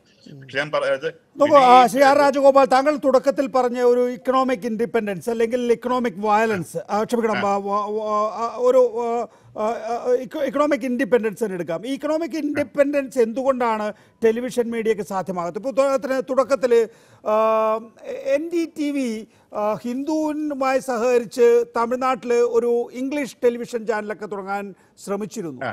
അത് പക്ഷേ പൊളിഞ്ഞുപോയി. കാരണം തമിഴ്നാട് പോലുള്ളൊരു സ്ഥലത്ത് ഇംഗ്ലീഷ് ചാനൽ എങ്ങനെ സാധ്യമാകും എന്നുള്ളത് അന്ന് അവർ ആലോചിച്ചിരുന്നില്ല യഥാർത്ഥത്തിൽ സ്വന്തമായി ഇതിനൊരു ഇക്കണോമിക് വയബിലിറ്റി കണ്ടെത്താൻ കഴിയാതെ പോയ ഇൻഡസ്ട്രി കൂടി ഇതിന് ബ്ലെയിം ചെയ്യുന്നത് ചെയ്യണം തീർച്ചയായും. അത് പക്ഷേ എൻ ഡി ടിവിയുടെ മാത്രമല്ല എല്ലാ പത്രസ്ഥാപനങ്ങൾക്കും നഷ്ടത്തിലാണ് മിക്കവാറും എനിക്ക് അറിയാവുന്നിടത്തോളം ഒരു ഒരു ഒന്നോ രണ്ടോ പേരല്ല ബാക്കി എല്ലാം നഷ്ടത്തിൽ തന്നെ. അപ്പൊ ഇവരെല്ലാം ഈ മോഡൽ വിനോദ് പറഞ്ഞ പോലെ ഈ മോഡൽ തന്നെ ഡിഫക്റ്റീവ് ആണ് ഇങ്ങനെ ഒരു അഡ്വർടൈസ്മെന്റ് ഇത് എസ്പെഷ്യലി ഇന്ത്യ ഒരു ഒളിഗാർക്ക് പ്രത്യേകിച്ച് ഒരു ഒളിഗാർക്കി ആയിട്ടുള്ള ഒരു ഒരു എക്കോണമി അതായത് ഒന്നോ രണ്ടോ ഗ്രൂപ്പ് മാത്രം വളരെ പവർഫുൾ ആയിട്ടുള്ള വളരെ വളരെ റിസ്കി അതായത് ഒരു ഗ്രൂപ്പ് വിചാരിച്ചാൽ മതി നമ്മളെ കൂട്ടിക്കാം അതേസമയം ആണ് പറഞ്ഞാൽ ഒരു ഇക്കണോമിക് ഫ്രീഡം ഉള്ള ഒരു- ഒരു രാഷ്ട്രം അതായത് നമ്മൾ ശരിക്കും പറയുന്നത് വളരെ വ്യാപ വ്യാപ ബ്രോഡ് ബേസ്ഡ് ആയിട്ട് രീതിയിലുള്ള ഇൻവെസ്റ്റേഴ്സ് ഉള്ള കമ്പനീസ് ഉള്ള അഡ്വർടൈസർ ഉള്ള ഒരു രാജ്യത്തിൽ ഗവൺമെന്റിന് നമ്മളെ കൺട്രോൾ ചെയ്യാൻ ഉദാഹരണം അമേരിക്കയിൽ. അവിടെ ഇപ്പം ട്രംപോ അല്ലെങ്കിൽ ഫോക്സ് ന്യൂസ് വളരെ ശക്തമായിട്ട് പോകുന്നത് അവരുടെ വ്യൂവേഴ്സിന്റെ ഇതുകൊണ്ട് അഡ്വർടൈസിന്റെ ഇതുകൊണ്ടല്ല അപ്പൊ ഒരു ട്രംപ് വിചാരിച്ചോ അല്ലെങ്കിൽ ഏതെങ്കിലും ഒരു ഒരു സ്റ്റേറ്റിലെ ഗവർണർ വിചാരിച്ചാൽ പരസ്യക്കാരെ ആ ഒരു പ്രത്യേക ഒരു ചെറിയ കമ്മ്യൂണിറ്റിയിൽ ഒന്നോ രണ്ടോ പേരെ അവർക്ക് ഇൻഫ്ലുവൻസ് ചെയ്യാൻ നോക്കാൻ പക്ഷേ ഇത്രയും വാസ്റ്റ് ആയിട്ടുള്ള ഇക്കോണമിയിൽ അവർക്ക് ഒന്നും ചെയ്യാൻ പറ്റില്ല ഇന്ത്യയും അങ്ങനെ ആവേണ്ടതായിരുന്നു. പക്ഷെ നമ്മൾ നമ്മുടെ സാമ്പത്തിക സ്ഥിതി വളരെ പരിതാപകരമാണ്. അതുകൊണ്ട് ആകെ ഇവിടെ പരസ്യം കൊടുക്കുന്ന ഒന്നോ രണ്ടോ മൂന്ന് കേരളത്തിലായാലും നമുക്ക് കേരളത്തിൽ നമുക്ക് നമ്മൾ സ്വർണക്കാരെ കുറിച്ച് നമ്മളൊന്നും പറയാറില്ല. കാര്യം എല്ലാ പത്രങ്ങളും പേടിയാണ്. കാരണം അവരുടെ പരസ്യം ഇല്ലെങ്കിൽ ഭക്ഷണമാകും അപ്പൊ ഇങ്ങനെ ഒരു പ്രശ്നമുണ്ട്. പിന്നെ N D T V decisions തെറ്റായി എടുത്തിരിക്കാം. പക്ഷെ അത് ഒരു ചാനലിൽ ഇപ്പൊ തമിഴ്നാടുകളിൽ തെറ്റായിട്ട് കൊണ്ടുവരുന്നത് അത് ഇങ്ങനെ ഒരു അവസ്ഥയിൽ എത്തണമെന്നില്ല. പ്രധാന പ്രശ്നം രണ്ടായിരത്തി എണ്ണതിലെ സാമ്പത്തിക മാന്യത അത് തന്നെയായിരുന്നു ഒരു പ്രശ്നം. പിന്നെ ഒരു പ്രശ്നമുള്ളത് N D T V N D T V ഒരു പ്യൂർലി ഒരു മീഡിയ കമ്പനി ആയിരുന്നു. അത് അവരുടെ ഒരു അതൊരു അവരൊരു ഒരു അസറ്റ് ആയിരുന്നു. പക്ഷെ ഇന്ത്യയിൽ അതൊരു ലൈബിലിറ്റി ആണ്. ഇന്ത്യയിൽ ഇപ്പോ പല കോർപ്പറേറ്റ് മീഡിയയും ലാഭം ഉണ്ടാക്കുന്നുണ്ടെങ്കിൽ അത് അവരുടെ വേറെ വഴികൾ അവർ ഈ ഗസ്റ്റ് അപ്പിയറൻസ് അല്ലെങ്കിൽ ഈ ടോക്ക് ഷോ വയ്ക്കുക അല്ലെങ്കിൽ അവാർഡ് ഷോ വയ്ക്കുക ഇതൊക്കെയാണ് പൈസ ഉണ്ടാക്കുന്നത്. അപ്പൊ ഇത് നിങ്ങൾ വേറെ അപ്പൊ ഇതുകൊണ്ടാണ് അവർ അപ്പൊ അവരൊരു ഒരു ഇന്ത്യയിലെ ഒരു പ്രമുഖ ബിസിനസ് പത്രം അവരുടെ ഒരു ഏറ്റവും വലിയത് എന്ന് പറയുന്നത് അവാർഡ്സ് നൈറ്റ് ആണ് ആ അവാർഡ്സ് നൈറ്റിൽ നമ്മുടെ കേന്ദ്ര മന്ത്രിസഭ മുഴുവൻ പങ്കെടുക്കും അപ്പൊ അവരെ കുറിച്ച് എന്തെങ്കിലും ഒരു വാർത്ത അതൃപ്തികരമായ രീതിയിൽ ചെറിയൊരു ഇത് മതി ഫോട്ടോ നേരെ ഇട്ടില്ലെങ്കിൽ അത് മതി ആ ആ വർഷം അവരെ ബോയ്ക്കോട്ട് ബോയ്ക്കോട്ട് ചെയ്താൽ ആ പരിപാടി മുഴുവൻ പൊഴിയൊക്കെ ഒരുപാട് കാശ് നഷ്ടമാവും അപ്പൊ ഇങ്ങനെയുള്ള വളരെ പ്രത്യക്ഷമായ രീതിയിലും പരോക്ഷമായ രീതിയിലും സർക്കാർ ഇങ്ങനെ മീഡിയ കൺട്രോൾ ചെയ്യുന്നുണ്ട് അപ്പോൾ ഇക്കണോമിക് ഇൻഡിപെൻഡൻസ് വരണമെങ്കിൽ നമ്മുടെ രാജ്യത്തെ സാമ്പത്തിക ഞാൻ പറഞ്ഞ ഇതൊരു ഇതൊരു ഒരു ഹോളിസ്റ്റിക് ഇതാണ്. അല്ല നമ്മളിപ്പോൾ മീഡിയ മാത്രം എക്കണോമി കൊണ്ട് ഗെയിൻ ചെയ്യുന്നതല്ല. നമ്മുടെ സാമ്പത്തിക സ്ഥിതി വളരുകയാണെങ്കിൽ മീഡിയയും വളരും. ഇല്ലെങ്കിൽ ഈ രീതി നമ്മൾ ഗവൺമെന്റിനെ ഡിപ്പെൻഡന്റ് ആവില്ലെങ്കിൽ. അതാണ് അതാണ് പറ്റുന്നത്. ഇപ്പോൾ ടെലിഗ്രാഫ് പോലുള്ള പ്രിന്റ് മീഡിയ ഇപ്പോഴും സർക്കാരിനെ എതിർക്കാനുള്ള ധൈര്യം കാണിക്കുന്നുണ്ട്. സ്വാഭാവികമായിട്ടും അതിന് നിങ്ങളുടെ ഒരു ഇക്കണോമിക് ഇൻഡിപെൻഡൻസ് സഹായകരമായി പ്രവർത്തിക്കുന്നുണ്ടാവുമെന്ന് വിചാരിക്കാം. ഈ ടെലിവിഷന്റെ കാര്യത്തിൽ ഒന്നത് ഒരു free to air news channel news ചാനലുകളെല്ലാം ഏതാണ്ട് ഫ്രീ ടു എയർ ചാനലുകളാണ് നമുക്ക് രണ്ട് തരം ചാനലുകളാണുള്ളത് ഒന്ന് ഫ്രീ ടു എയർ ചാനൽ രണ്ട് പെയ്ഡ് ചാനൽ പെയ്ഡ് ചാനൽ എന്ന് പറയുന്നത് സാധാരണഗതിയിൽ സ്പോർട്സ് ചാനലുകളും എന്റർടൈൻമെന്റ് ചാനലുകളും ഒക്കെയാണ് പെയ്ഡ് ചാനലായിട്ട് വരുന്നത്. അതായത് ഒരു കേബിൾ ഓപ്പറേറ്ററുടെ കയ്യിൽ നിന്ന് നമുക്ക് ആ ചാനൽ ലഭ്യമാക്കുന്നതിന് നമ്മൾ അങ്ങോട്ടേക്ക് ഒരു ഒരു വീട് അല്ലെങ്കിൽ നമ്മുടെ വീട്ടിലുള്ള ഒരു ഒരു കേബിൾ കണക്ഷൻ ഉണ്ടല്ലോ ആ കേബിൾ കണക്ഷന് പൈസ കൊടുക്കണം എന്നുള്ളതാണ്. പക്ഷേ ഒരു ഫ്രീ ടു വെയറിന് ഫ്രീ ആയിട്ട് കണ്ടന്റ് കൊടുക്കുകയാണ് ആ ചാനൽ അപ്പോൾ പത്രത്തിന് നിങ്ങൾ അഞ്ചും പത്തും രൂപയൊക്കെ ഈടാക്കുന്നുണ്ട്. ഒരു ടെലിവിഷൻ ചാനൽ രാവിലെ മുതൽ രാത്രി വരെ കാണുമ്പോൾ അതിന് പണം ഒന്നും കൊടുക്കേണ്ടതില്ല സൗജന്യമായി കാണുമെന്നുള്ളതാണ് ഇങ്ങനെ ഒരു ഈക്കോ സിസ്റ്റം എങ്ങനെ ഉണ്ടായി? കോർപ്പറേറ്റുകൾക്ക് മാത്രമല്ല അങ്ങനെയാണെങ്കിൽ ഈ പറയുന്ന കോർപ്പറേറ്റുകൾ തന്നെയാണ് ഈ പരസ്യം നൽകേണ്ടത്. ആ, കോർപ്പറേറ്റുകൾക്ക് മാത്രമേ ഇതിന്റെ ക്യാപിറ്റൽ എക്സ്പെൻഡിച്ചർ കൈകാര്യം ചെയ്യാൻ കഴിയൂ. അത്ര ഹ്യൂജ് ആണ്. അത് നേരത്തെ ഇവിടെ പറഞ്ഞു കഴിഞ്ഞിരിക്കുന്നു. അപ്പോൾ ഇങ്ങനൊരു ഇക്കോ സിസ്റ്റം അതാണ് ഒരു ഒരു കാരണമായി കാണേണ്ടത് ഷിയാർ രാജഗോപാൽ. അത് അത് തീർച്ചയായിട്ടും അത് ടെലിവിഷൻ അല്ല കുറ്റം പറ അത് അതിന് അതിന് പ്രധാന കാരണം പ്രിന്റ് മീഡിയയാണ് പ്രിന്റ് മീഡിയയാണ് തുടങ്ങിയത് ഈ സംഭവം. ഇപ്പോഴും താങ്കൾ ഈ എട്ട് പത്ത് രൂപ എന്ന് എനിക്കതിന് ഏത് മലയാള പത്രങ്ങളിലേക്കാണ് ഏഴ് രൂപയ്ക്കാന്ന് തോന്നുന്നു. ഇപ്പൊ ഞങ്ങളുടെ പത്രം ഞങ്ങളുടെ പത്രം വയ്ക്കുന്ന ഇതുവരെ നാല് രൂപയായിരുന്നു ഇപ്പൊ അഞ്ച് രൂപ. അഞ്ച് രൂപയ്ക്ക് ഇന്ത്യയിൽ നിന്ന് എന്ത് സാധനം കിട്ടും? ഒരു ബിസ്ക്കറ്റ് പോലും ഒരു ചായ പോലും കിട്ടുമല്ലോ അഞ്ച് രൂപയ്ക്ക്. കാരണം ഞങ്ങൾ അഞ്ച് രൂപ കൂട്ടുകയാണെങ്കിൽ ആൾ വാങ്ങിക്കുമല്ലോ ഞങ്ങളുടെ പത്രം. പക്ഷെ ഞാൻ ഒരു പത്രത്തിൽ ഞങ്ങളുടെ പത്രം ചെലവാകുന്ന ദിവസം പതിനാല് രൂപയാണ്. അപ്പൊ ബാക്കി ഈ അഞ്ച് രൂപ കഴിഞ്ഞ് ബാക്കി പതിനാല് രൂപയിൽ ബാക്കി നമുക്ക് ബ്രേക്ക് ഇവൻ അങ്ങനെ തന്നെ ഞങ്ങൾ അഡ്വർടൈസ് ഡിപ്പെൻഡ് ചെയ്യുന്നത് അപ്പൊ naturally advertisers they are very influential you know ഈ ഒരു സ്ഥിതി വരുത്തി വെച്ചത് പ്രിന്റ് മീഡിയ തന്നെയാണ്. ഒരു ഒരു പ്ര- പ്രത്യേകിച്ച് ഒരു പേരുമായിട്ട് താല്പര്യമില്ല. രണ്ടായിരത്തി ആയിരത്തി തൊള്ളായിരത്തി തൊണ്ണൂറിൽ ആണ് ഇന്ത്യയിൽ ആദ്യമായിട്ട് ഒരു പത്രം വളരെ പെട്ടെന്ന് വില ഭയങ്കരമായിട്ട് വെട്ടിക്കുറച്ചു. അതായത് സർക്കുലേഷൻ കൂട്ടാൻ വേണ്ടി. അതായത് നമ്മുടെ അല്ലെങ്കിൽ അതൊരു ഒരു സന്തുലിതാവസ്ഥ ഉണ്ടായിരുന്നു. അതായത് സിക്സ്റ്റി ഫോർട്ടി അല്ലെങ്കിൽ അതായത് അറുപത് ശതമാനം പരസ്യം നാൽപ്പത് ശതമാനം റവന്യൂ പിന്നെ ചിലർ ഫിഫ്റ്റി ഫിഫ്റ്റി ഉണ്ടായിരുന്നു. അതായത് അമ്പത് ശതമാനം സർക്കുലേഷൻ റവന്യൂ ബാക്കി അമ്പത് ശതമാനം പരസ്യം മതി എന്ന്. അതിൽ നിന്ന് ഏകദേശം ഇപ്പൊ എൺപത് ട്വന്റി വരെയൊക്കെ ആയിട്ടുണ്ട്. എൺപത് ശതമാനം അഡ്വർടൈസും ബാക്കി ഇരുപത് ശതമാനമാണ് നമുക്ക് റീഡേഴ്സിന് നിന്ന് കിട്ടുക എന്നുള്ള രീതിയിലൊക്കെ മോഡൽ ഇപ്പം അതൊരു അതൊരു സസ്റ്റൈനബിൾ സസ്റ്റൈനബിൾ ആണ്. അങ്ങനെയാണെങ്കിൽ നമ്മൾ തീർച്ചയായിട്ടും ഇപ്പം നമ്മൾ ഒരു ഒരു ഹോട്ടലിൽ പോയി എൺപത് രൂപ കൊടുക്കുന്നതിന് ഇരുപത് രൂപ കൊടുക്കുന്നതിന് ആർക്കായിരിക്കും കൂടുതൽ സർവീസ് കിട്ടുക? തീർച്ചയായിട്ടും എൺപത് രൂപ കൊടുക്കുന്നത് അപ്പം നമ്മൾ മാധ്യമങ്ങളും ഈ അഡ്വർടൈസേഴ്സിനെ പിന്താങ്ങുന്നുള്ള പ്രധാന കാര്യം ഇതാണ്. കാര്യം they are more influential than the readers ആ രീതിയിൽ ശരിക്കും ഇവിടെ എത്തിച്ചത് പ്രിന്റ് മീഡിയയാണ് ആദ്യം ചെയ്തത്. പിന്നെ ടെലിവിഷൻ എനിക്ക് ഞാൻ ടെലിവിഷൻ ഇക്കണോമിയെ കുറിച്ച് എനിക്ക് അധികം പഠിച്ചിട്ടില്ല. അതുകൊണ്ട് എനിക്ക് അറിയില്ല എങ്ങനെയാണ് അല്ല നോക്കുക അങ്ങനെ ഒരു ഇക്കോ സിസ്റ്റത്തിലൂടെ പ്രവർത്തിക്കുന്നു ഡോക്ടർ സെബാസ്റ്റ്യൻ ബോൾ ഡോക്ടർ സെബാസ്റ്റ്യൻ ബോളും ടെലിവിഷനിൽ പ്രവർത്തിക്കുകയും അതിന്റെ ഒരു ഇക്കോ സിസ്റ്റം കണ്ടറിയുകയും ചെയ്തിട്ടുള്ള ആളാണല്ലോ. നോക്കൂ ഈ പറഞ്ഞ പോലെ ഫ്രീ ടു എയർ ആണ് പല മഹാഭൂരിപക്ഷം ന്യൂസ് ചാനലുകളും. ഒരാൾ പോലും പണം തന്നിട്ടല്ല ഇപ്പോൾ ഈ ടെലിവിഷൻ കാണുന്നത് എല്ലാ ന്യൂസ് ചാനലുകളും കാണുന്നത്. നമ്മൾ അഡ്വർടൈസിങ് ഇൻഡസ്ട്രിയെ മാത്രം ബേസ് ചെയ്ത് ജീവിക്കുന്നവരാണ് എന്നുള്ളതും നിങ്ങൾ താങ്കൾക്കറിയാം. അപ്പോൾ ഇത് ഒരാൾക്ക് നടത്താൻ കഴിയില്ല ഒരു കൂട്ടം ജേർണലിസ്റ്റുകൾക്ക് നടത്താൻ കഴിയില്ല. മുൻകാലങ്ങളിലൊക്കെ ചില വളരെ സ്വതന്ത്രമായ മാധ്യമ സ്ഥാപനങ്ങൾ ഒരു കൂട്ടം ജേർണലിസ്റ്റുകളോ അല്ലെങ്കിൽ ഒരു ജേർണലിസ്റ്റോ ഒക്കെ നടത്തിയിട്ടുണ്ട്. പക്ഷേ ഇപ്പോൾ അത് സാധ്യമല്ലാത്ത സ്ഥിതി വന്നിരിക്കുന്നു. പിന്നെ എന്താ കഴിയുക? ഈ മാധ്യമങ്ങളെല്ലാം ഏറ്റെടുക്കുമ്പോൾ കോർപ്പറേറ്റുകൾക്ക് കോർപ്പറേറ്റുകൾ ഒരു ഔദാര്യം ആ, നേടുന്നത് പോലെ ആ, ഭരണകൂടത്തിൽ നിന്ന് ആനുകൂല്യങ്ങൾ നേടേണ്ടതില്ല. ഈ മാധ്യമങ്ങൾ വെച്ച് വിലപേശാം എന്നുള്ളതാണ്. ഒന്ന് ഈ മാധ്യമങ്ങൾ ഏറ്റെടുക്കുക വഴി ലാഭകരമായ ബിസിനസ് കൊണ്ടു നടക്കുക എന്നുള്ളതിനപ്പുറത്തേക്ക് ഒന്ന് മാധ്യമ സ്ഥാപനമുണ്ട് എന്നുള്ള ഗ്ലാമർ. രണ്ട് സർക്കാരുമായി വിലപേശാനുള്ള ഉപാധി. അതിന് ഉത്തരം പറഞ്ഞ് ഞാൻ അടുത്ത് ചോദിക്കാം ഡോക്ടർ സെബാസ്റ്റ്യൻ പോൾ. അല്ല ഈ കോർപ്പറേറ്റുകളെ ആശ്രയിച്ച് മാധ്യമ പ്രവർത്തനം നടത്തുക അല്ലെങ്കിൽ മാധ്യമങ്ങളുടെ നിലനിൽപ്പ് ഉറപ്പാക്കുക എന്നുള്ളത് കുറേ കാലമായി നിലവിലുള്ള കാര്യം തന്നെയാണ്. ടെലിവിഷന്റെ ആവിർഭാവത്തിന് മുമ്പ് പത്രങ്ങൾ മാത്രമുള്ളപ്പോഴും പ്രിന്റ് മീഡിയ ആശ്രയിച്ചിരുന്നത് കോർപ്പറേറ്റുകളെ ആയിരുന്നു അന്ന് കമ്പനികളുടെ വ്യവസായങ്ങളുമായുള്ള പത്രങ്ങളുടെ ബന്ധം വലിയ തോതിലുള്ള വിമർശനത്തിനും ആക്ഷേപത്തിനും കാരണമായിട്ടുണ്ട്. എല്ലായ്പ്പോഴുള്ള വിമർശനം അത് തന്നെയായിരുന്നു. പിന്നീട് ടൈംസ് ഓഫ് ഇന്ത്യയുടെ വിനീത് ജെയിനല്ലേ വളരെ പ്ര- പ്രസിദ്ധമായ പ്രസ്താവന നടത്തിയത്. ഞങ്ങളുടെ വരുമാനത്തിന്റെ തൊണ്ണൂറ് ശതമാനം പരസ്യങ്ങളാണ്. പത്ത് ശതമാനമാണ് വായനക്കാർ അല്ലെങ്കിൽ വാർത്ത എന്ന് അദ്ദേഹം പറഞ്ഞു. അത് തന്നെയാണ് ഇവിടെ ചൂണ്ടിക്കാണിച്ചത്. അപ്പോൾ വളരെ അസന്തുലിതമായ അവസ്ഥയിലാണ് ആ വ്യവസായം മുന്നോട്ട് പോയിക്കൊണ്ടിരിക്കുന്നത്. ടെലിവി ടെലിവിഷൻ വന്നപ്പോൾ ഇവിടെ ചൂണ്ടിക്കാണിച്ചു. അത് ടെലിവിഷൻ സമ്പൂർണമായും സൗജന്യമാണ് എന്നൊരു ധാരണ ഉണ്ടായിട്ടുണ്ട്. നമ്മൾ കേബിൾ ടി വിക്കുള്ള ഒരു പണം കൊടുക്കുന്നു എന്നതിനപ്പുറത്തേക്ക് എല്ലാ കാര്യങ്ങളും സൗജന്യമാണ്. അങ്ങനെ സൗജന്യമായി ഒരു സേവനം നമുക്ക് എത്ര കാലം കിട്ടും? അല്ലെങ്കിൽ എത്ര കാലം ആ ദാതാക്കൾക്ക് മുന്നോട്ട് പോകാൻ കഴിയും? അത് ആരും ആലോചിക്കുന്നുമില്ല. അപ്പോൾ വളരെ ഗുരുതരമായ ഒരു അവസ്ഥയിലേക്ക് നമ്മൾ നീങ്ങിക്കൊണ്ടിരിക്കുന്നു. മാധ്യമ പ്രവർത്തനം അത് പ്രിന്റ് ആയാലും ഇലക്ട്രോണിക് ആയാലും അല്ലെങ്കിൽ ബ്രോഡ്കാസ്റ്റിംഗ് മീഡിയ ആയാലും അത് എങ്ങനെ അത് നിലനിൽക്കും മുന്നോട്ട് പോകും എന്ന കാര്യത്തെക്കുറിച്ചുള്ള ആലോചനകൾ നടക്കുന്നില്ല. അവിടെയാണ് എല്ലാ കാലവും സൗജന്യമായി ഈ വിനോദ ചാനലുകളും വാർത്താ ചാനലുകളും കണ്ടുകൊണ്ട് നമുക്ക് മുന്നോട്ട് പോകാൻ കഴിയുമോ ആ ചാനലുകളെ ആര് പിന്തുണയ്ക്കും ആര് സപ്പോർട്ട് ചെയ്യും അതൊരു ചോദ്യമാണ്. ഇവിടെ തുണി കച്ചവടക്കാരും സ്വർണ കച്ചവടക്കാരും ചേർന്ന് നമ്മുടെ ടെലിവിഷൻ ചാനലുകളൊക്കെ ഹിജാക്ക് ചെയ്തിരിക്കുന്നു എന്നൊക്കെ കാണുന്നവർക്ക് പരാതി ഉണ്ടാകാം.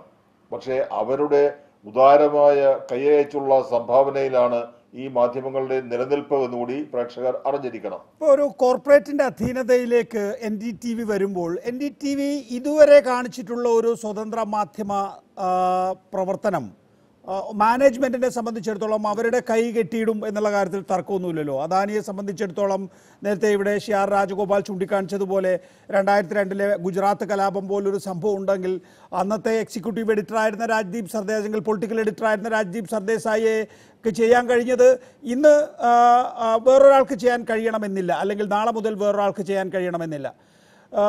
അപ്പോൾ മാനേജ്മെന്റിന്റെ കൈകൾ കെട്ടിയിടപ്പെടുമ്പോൾ മാധ്യമ പ്രവർത്തകന്റെ സ്വാതന്ത്ര്യത്തെ അത് എത്ര കണ്ട് ബാധിച്ചിട്ടുണ്ട് എന്നാണ് താങ്കളുടെ അനുഭവം ഡോക്ടർ സെബാസ്റ്റ്യൻ പോൾ അതായത് ഞാനൊരു കോർപ്പറേറ്റ് ടെലിവിഷൻ മാധ്യമത്തിൽ തന്നെയാണ് പ്രവർത്തിക്കുന്നത് എന്ന് കരുതുക.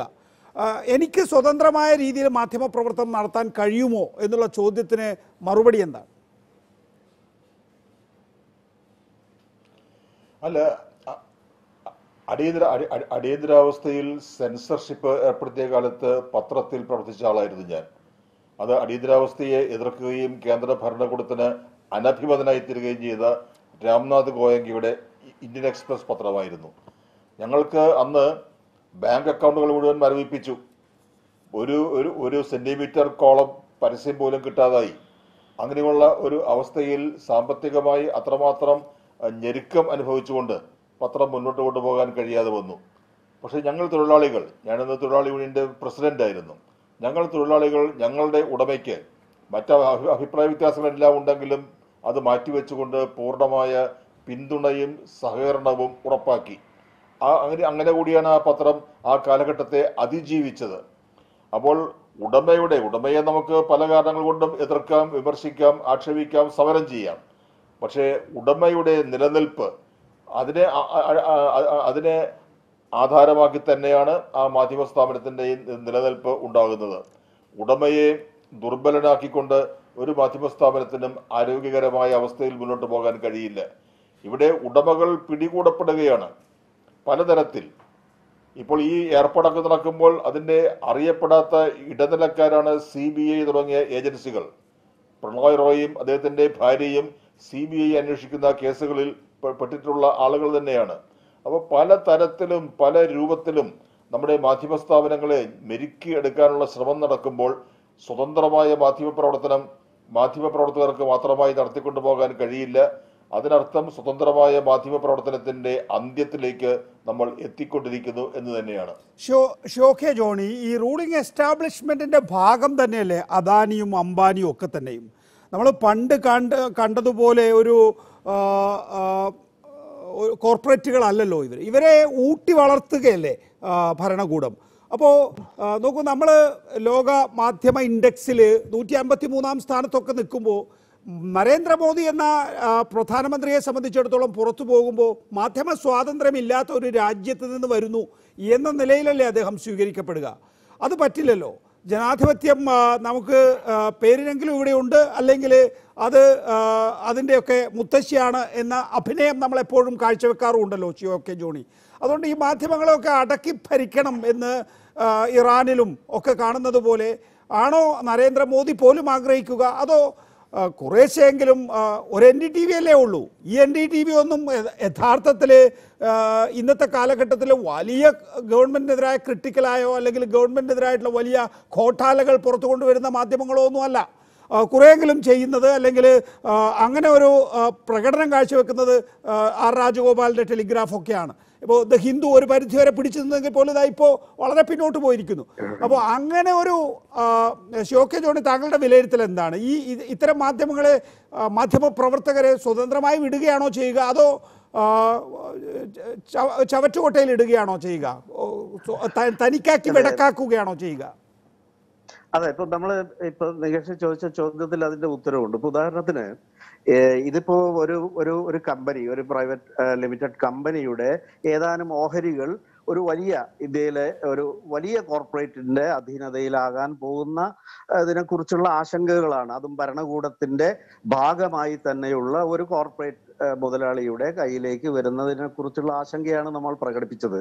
പക്ഷേ ഇതൊന്നും ഇല്ലാതെ തന്നെ നമ്മൾ ഈ ഈ വലിയ മാധ്യമ സ്ഥാപനങ്ങളിൽ പ്രവർത്തിച്ചു കൊണ്ടിരുന്ന സത്യസന്ധരായ പ്രൊഫഷണൽ ആയിട്ടുള്ള പ്രൊഫഷണൽ എത്തിക്സ് പാലിച്ചിരുന്ന എത്ര ജേർണലിസ്റ്റുകൾക്ക് അവർക്ക് തൊഴിലില്ലാതായി? എവിടെയാണ് പിന്നെ ബർക്കാദത്ത് എവിടെയാണ് ഉള്ളത്?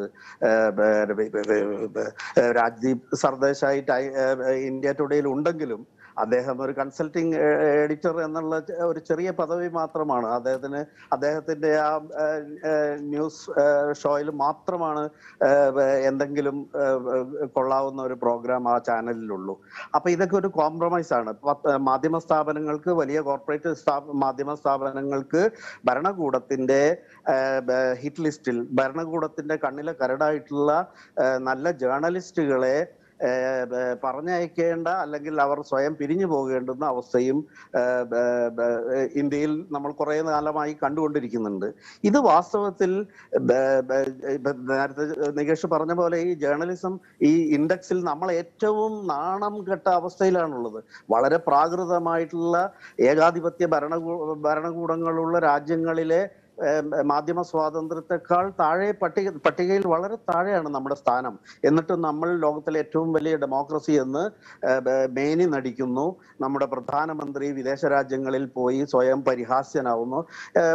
അന്താരാഷ്ട്ര മാധ്യമങ്ങളിലെല്ലാം ഇന്ത്യയിലെ ഈ മാധ്യമ മാധ്യമ സ്വാതന്ത്ര്യത്തെ ഹനിക്കുന്ന മാധ്യമ പ്രവർത്തകരെ വേട്ടയാടുന്ന ഈ പ്രവണതയ്ക്കെതിരെ ലോകമെമ്പാടും റിപ്പോർട്ടേഴ്സ് വിത്തൗട്ട് ബോർഡർ ഒക്കെയുള്ള എത്രയോ സംഘടനകൾ ഇത് കാലാകാലങ്ങളിൽ ചൂണ്ടിക്കാണിക്കുന്നുണ്ടെങ്കിലും ഇന്ത്യയിലെ മാധ്യമ ഉടമകളും ഇന്ത്യയിലെ ജേർണലിസ്റ്റുകൾ വ്യക്തികളല്ല ജേർണലിസ്റ്റുകളുടെ ഒരു കൂട്ടായ്മയും ഈ അപകടാവസ്ഥയെ തങ്ങൾ പ്രവർത്തിക്കുന്ന ഈ മേഖലയെ വന്നുപെട്ടിട്ടുള്ള അപകടാവസ്ഥയെ കുറിച്ച് പോലും കൂട്ടായി ചിന്തിക്കാനും ഒരു പ്രതിരോധം ഉയർത്താനും ശ്രമിക്കുന്നില്ല എന്നതാണ് വാസ്തവത്തിൽ ഏറ്റവും ഗുരുതരമായ അവസ്ഥ. ഇപ്പൊ ഞാൻ പറഞ്ഞതുപോലെ ഇപ്പൊ ബർക്കാദത്തിനെ ഒക്കെ പോലുള്ള ജേർണലിസ്റ്റുകൾ മുഖ്യധാര മാധ്യമങ്ങളിൽ നിന്ന് ബഹിഷ്കൃതരാകുമ്പോൾ അവർ സമാന്തര മാധ്യമങ്ങളിലൂടെ അവരുടെ സാന്നിധ്യം ഉറപ്പിക്കാൻ ശ്രമിക്കുന്നുണ്ട്. പക്ഷെ അതിന് പോലും നിലനിൽക്കാൻ പറ്റുന്നില്ല. നേരത്തെ ഈ പാനലിലെ എല്ലാവരും ചൂണ്ടിക്കാണിച്ചതുപോലെ അത്തരം ഇൻഡിപെൻഡന്റ് ജേർണലിസം എന്ന് പറയുന്ന സ്വതന്ത്ര മാധ്യമ പ്രവർത്തനം എന്ന് പറയുന്ന ഒരു സംഗതിയെ പിന്തുണയ്ക്കുന്ന ഒരു ഒരു സമൂഹമായി നമ്മുടെ സമൂഹം വികസിച്ചിട്ടില്ല എന്നതാണ് ഏറ്റവും ആപത്കരമായ താഴോട്ട് പോയി എന്നുള്ളതാണ്. താഴോട്ട് പോയി എന്നുള്ളതായിരിക്കില്ലേ കുറെ കൂടി ഉചിതമായ വാക്ക്? നമ്മൾ അത്യാവശ്യം ഡോക്ടർ സെബാസ്റ്റ്യൻ പോൾ നേരത്തെ അടിയന്തരാവസ്ഥ. അടിയന്തരാവസ്ഥയിൽ ചില മാധ്യമങ്ങൾ കുനിഞ്ഞു കൊടുത്തെങ്കിൽ പോലും പക്ഷേ ഇന്ത്യയ്ക്ക് അഭിമാനിക്കാമായിരുന്നു. ഒരു പ്രധാന പ്രതിപക്ഷം അവിടെ ഉയർന്നു വന്നു എന്നുള്ളത്. എന്തിനെ? ഒരു പ്രതിപക്ഷ പാർട്ടി ഇല്ലാത്തടത്ത് അടിയന്തരാവസ്ഥ എന്ന ഭരണഘടനാ വിരുദ്ധ പ്രവൃത്തിയെ ഉപയോഗിച്ചൊരു പ്രതിപക്ഷ പാർട്ടിക്ക് അധികാരത്തിലെത്താൻ കഴിഞ്ഞു. രണ്ട് മാധ്യമങ്ങൾ വളരെ സജീവമായി നിന്നു. ഒരു പരിധി വരെയെങ്കിലും. അതെ. ഇപ്പൊ ഉദാഹരണത്തിന് ഇപ്പൊ അടിയന്തരാവസ്ഥ കാലത്ത് ഒരു സെൻസർഷിപ്പ് ഉണ്ടായിരുന്നു എന്നുള്ളത് എല്ലാവർക്കും അറിയാം. പക്ഷെ ഇപ്പോഴത്തെ ഒരു അവസ്ഥ നോക്കൂ. സെൻസർഷിപ്പ് ഇല്ലെങ്കിൽ ഒരു സ്വയം സെൻസർഷിപ്പിന് നമ്മുടെ മാധ്യമങ്ങൾ വിധേയമായി തുടങ്ങിയിട്ടുണ്ട്. അത് പലതരം ഭീഷണികളെ അവരുടെ നിലനിൽപ്പ് അപകടത്തിലാവുമെന്ന ഭയം കൊണ്ട് വാർത്തകളെ മയപ്പെടുത്തി. ഇപ്പൊ സൽമാൻ റഷ്ദിയുടെ വധശ്രമം ഉണ്ടായപ്പോൾ പോലും ഒന്ന് ആലോചിച്ച് നോക്കൂ. അത് നമ്മുടെ ഭരണകൂടവുമായി ബന്ധപ്പെട്ടതല്ലെങ്കിലും അത് അതിന്റെ പിന്നിലുള്ള ഇസ്ലാമിക തീവ്രവാദികൾ നേരത്തെ ആയത്തുള്ള ഖൊമൈനിയുടെ ആ ആഹ്വാനം മുതൽക്ക് ഉള്ള ഇസ്ലാമിക് ഫണ്ടമെന്റലിസത്തിന്റെ ആ പോളിറ്റിക്സിനെ കുറിച്ച് സൂചിപ്പിക്കാനൊന്നും സൂചിപ്പിക്കാൻ പോലും നമ്മുടെ മുഖ്യധാര മാധ്യമങ്ങൾക്ക് ഭയമാണ്.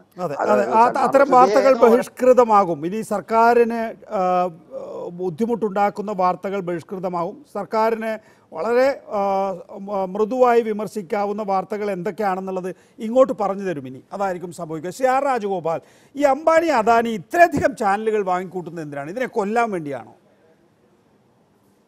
അല്ല എനിക്കറിയില്ല ശരിക്കും. കാര്യം ഇതൊന്നും പൈസ ഉണ്ടാക്കുന്നുണ്ടായിട്ട് എനിക്കറിയില്ല. രണ്ട് തീർച്ചയായിട്ടും നമുക്ക് പലപ്പോഴും ഓബിയസ് ആയിട്ടുള്ള കാര്യങ്ങൾ സത്യമാണെന്ന് അറിയില്ല. ഏറ്റവും ഓബിയസ് ആയിട്ടുള്ളത് അവർക്ക് സർക്കാരിനെ പ്രീണ പ്രീണപ്പെടുത്തുക എന്നുള്ള അല്ലെങ്കിൽ സർക്കാരിൽ ഈ ഒരു മോദി സർക്കാരിനെ പ്രീണപ്പെടുത്തുക ഉള്ളതാണ് ഏറ്റവും നമ്മൾ പറയുന്ന ഒരു ഇത്. അതാണ് നാട്ടിലെ പക്ഷെ നമ്മളൊന്നും ആലോചിക്കുകയാണെങ്കിൽ അംബാനി ഈ നയന്റീൻ നയന്റീസിൽ നയന്റീൻ എയ്റ്റീസിൽ മിഡ് എയ്റ്റീസിൽ അവർ ശരിക്കും മീഡിയയിൽ പലതവണ കടക്കാൻ ശ്രമിച്ചു. അത് പരാജയപ്പെട്ടു. അത് ഒരു സക്സസ്ഫുൾ ആയില്ല അന്ന് അത് ഒബ്സർവറും അങ്ങനെയുള്ള പല എക്സ്പെരിമെന്റ് നടത്തിയിട്ട് ശരിയല്ല. അപ്പൊ ഞാൻ പറയുന്നത് നമ്മുടെ വീണ്ടും ഞാൻ തരുന്ന ആ ഞാൻ ആ പഴയ ഇത് തന്നെ റെക്കോർഡ് ഒരു ബ്രോക്കൺ റെക്കോർഡ് പോലെ എല്ലായിടത്തും പറയുന്ന കാര്യമാണ്. ആ അപ്പൊ എന്തോ സംഭവിച്ചിട്ടുണ്ട് ഇന്ത്യയിൽ. അതായത് എൺപതുകളിൽ എൺപതുകളിലായിരുന്നു തിരുവായി അമ്പാരി ഇക്വിറ്റി കൾട്ട് എന്ന് പറഞ്ഞ അന്ന് അവർ ശരിക്കും അവർ ഹീറോസ് ആയിരുന്നു. കാരണം ആ സമയത്ത് പോലും സക്സസ് സക്സീഡ് ചെയ്യാൻ പറ്റാത്ത ഒരു വെഞ്ചറിൽ അവർ ഇപ്പോഴും എന്തുകൊണ്ടാണ് താല്പര്യം? അപ്പൊ നമ്മുടെ നമ്മൾ ഇന്ത്യ മാറിയിരിക്കുന്നു. There is a change in quality of the people നമ്മൾ ആ കാര്യം നമ്മൾ അക്സെപ്റ്റ് ചെയ്യാതെ പറ്റില്ല. നമ്മൾ ഇന്ത്യ അല്ലെങ്കിൽ എൺപതുകളിലും തൊണ്ണൂറുകളിലും അംബാനിക്ക് പറ്റാത്തത് ഇപ്പോഴും എന്തുകൊണ്ട് സംഭവിക്കുന്നു? ഒന്ന് തീർച്ചയായിട്ടും രണ്ടായിരത്തി പതിനാലിന് ശേഷം നരേന്ദ്രമോദി പറയുന്ന ആ ഒരു that was a very big change പക്ഷെ നമ്മുടെ ആളുകളുടെ ഇടയിലും തീർച്ചയായിട്ടും ഇതൊക്കെ അക്സെപ്റ്റ് ചെയ്യാനായിട്ടുള്ള ഒരു ഒരു ഒരു അതുകൊണ്ട് മാത്രമാണ് അതാണ് അതുകൊണ്ട് അല്ലെങ്കിൽ എയ്റ്റീസിൽ ഇതിനെതിരെ പ്രതിരോധമൊന്നും ഒരു പത്രം പോലും ഇതിന് അംബാനിക്കെതിരെ അംബാനിയുടെ പത്രം വിജയിക്കാൻ പാടില്ല അങ്ങനെയൊന്നും എഴുതിയിട്ടില്ല. അവരെല്ലാവരും ഒരു പ്രൊഫഷണൽ പ്രൊഫഷണൽ ജേർണലിസ്റ്റ് ആയിരുന്നു അത് റൺ ചെയ്തിരുന്നത്. എന്നിട്ട് പോലും അത് സക്സസ് ഇത്രയും അവർക്ക് ഇതുകൊണ്ടായിട്ട് സക്സസ് ചെയ്ത് സക്സസ് ചെയ്യാൻ സക്സസ് ആവാൻ പറ്റിയില്ല. പക്ഷെ ഇപ്പോഴ് അത് ചെയ്യുന്ന അപ്പോൾ എനിക്ക് തോന്നി ഇത് ഇതിനകത്ത് definitely it is not journalism it is not profit കാര്യം അങ്ങനെ പ്രോഫിറ്റ് ഒന്നും ഉണ്ടാക്കുന്നതായിട്ട് പ്രോഫിറ്റ് ഉണ്ടാക്കുന്നുണ്ടാലും അതിന് അതിന്റെ അവരുടെ വേറെ വെഞ്ചേഴ്സ് നമ്മൾ പലപ്പോഴും ഇപ്പം സി എൻ എൻ പോലുള്ള കാര്യങ്ങളിൽ അവർക്ക് വയാക്കോ വേറെ വേറെ പല പല സ്റ്റുഡിയോ ഇതിൽ കൂടുതലുള്ള വരുമാനമാണ് ഈ പ്രോഫിറ്റ് ഇങ്ങനെ വലുതായിട്ട് കാണിക്കുന്നത്. പ്യുവർ ജേർണലിസത്തിന് എനിക്ക് തോന്നുന്നില്ല. അപ്പൊ കമേഴ്ഷ്യൽ ഇൻട്രസ്റ്റ് അല്ല. ഇതല്ല. അപ്പൊ അതുകൊണ്ട് വേറെ അവരുടെ ബാക്കിയുള്ള താല്പര്യങ്ങൾ സംരക്ഷിക്കാനാണ് നമ്മൾ ഊഹിക്കേണ്ടിയിരിക്കുന്നത്. അല്ല നമുക്ക് ഇതിന് തെളിവൊന്നുമില്ല. ഇനി കൂടുതൽ പറയുകയാണെങ്കിൽ നമുക്ക് അതിന് കേസ് കൊടുക്കും. അങ്ങനെ പ്രശ്നങ്ങളുണ്ട്. തീർച്ചയായും. ഡോക്ടർ സബാസ് പോൾ ഇത് ജേർണലിസം നൂറ്റി അൻപതിൽ മുകളിലേക്ക് നമ്മൾ ഇൻഡെക്സിൽ താഴെ പോകുമ്പോൾ അത് ഒരു താൽക്കാലിക പ്രതിഭാസം എന്തെങ്കിലും ആശ്വസിക്കാനാവുമോ ഈ ഘട്ടത്തിൽ? ഇല്ല അതൊരു താൽക്കാലിക പ്രതിഭാസമായി കണക്കാക്കാനാവില്ല. തെരഞ്ഞെടുപ്പ് എന്ന ഒറ്റ കാര്യത്തെ മാത്രം ആശ്രയിച്ചുകൊണ്ട് നമ്മൾ ജനാധിപത്യമാണ് നമ്മൾ അവകാശപ്പെടുമ്പോൾ ലോകം നമ്മോട് പറയുന്നത് കാലാകാലങ്ങളിൽ നടക്കുന്ന ജനാധിപത്യം മാത്രമല്ല കാലാകാലങ്ങളിൽ നടക്കുന്ന തെരഞ്ഞെടുപ്പ് മാത്രമല്ല അതിനപ്പുറത്ത് ഒട്ടേറെ കാര്യങ്ങളുണ്ട്. ആ ഒട്ടേറെ കാര്യങ്ങളിൽ പ്രധാനപ്പെട്ട ഒന്ന് തന്നെയാണ് അഭിപ്രായ പ്രകടന സ്വാതന്ത്ര്യം എന്നുള്ളത്. അതിന്റെ പ്രകടവും പ്രത്യക്ഷവുമായ രൂപമാണ് മാധ്യമങ്ങൾ. ആ സ്വാതന്ത്ര്യത്തെ പരിമിതപ്പെടുത്തിക്കൊണ്ട് നമുക്കൊരു ജനാധിപത്യ രാജ്യമാണ് ക്വാളിറ്റിയുള്ള ജനാധിപത്യമാണ് ഇവിടെ ഉള്ളത് എന്ന് അവകാശപ്പെടാനോ ആരെയെങ്കിലും ബോധ്യപ്പെടുത്താനോ കഴിയില്ല. ഉദാഹരണത്തിന് മാധ്യമങ്ങൾ മാത്രമല്ലല്ലോ വാങ്ങപ്പെടുകയും വിൽക്കപ്പെടുകയും ചെയ്യുന്നത്. ലെജിസ്ലേച്ചറിനെ നിങ്ങൾ റിസോർട്ടുകളിൽ ഒളിപ്പിച്ചു വെച്ച് വാങ്ങുന്നു. ജുഡീഷ്യറിയെ വാങ്ങുന്നതായിട്ടുള്ള പരാതി ജുഡീഷ്യറിയിൽ നിന്ന് തന്നെ വരുന്നു ഡോക്ടർ സെബാസ്റ്റ്യൻ പോൾ.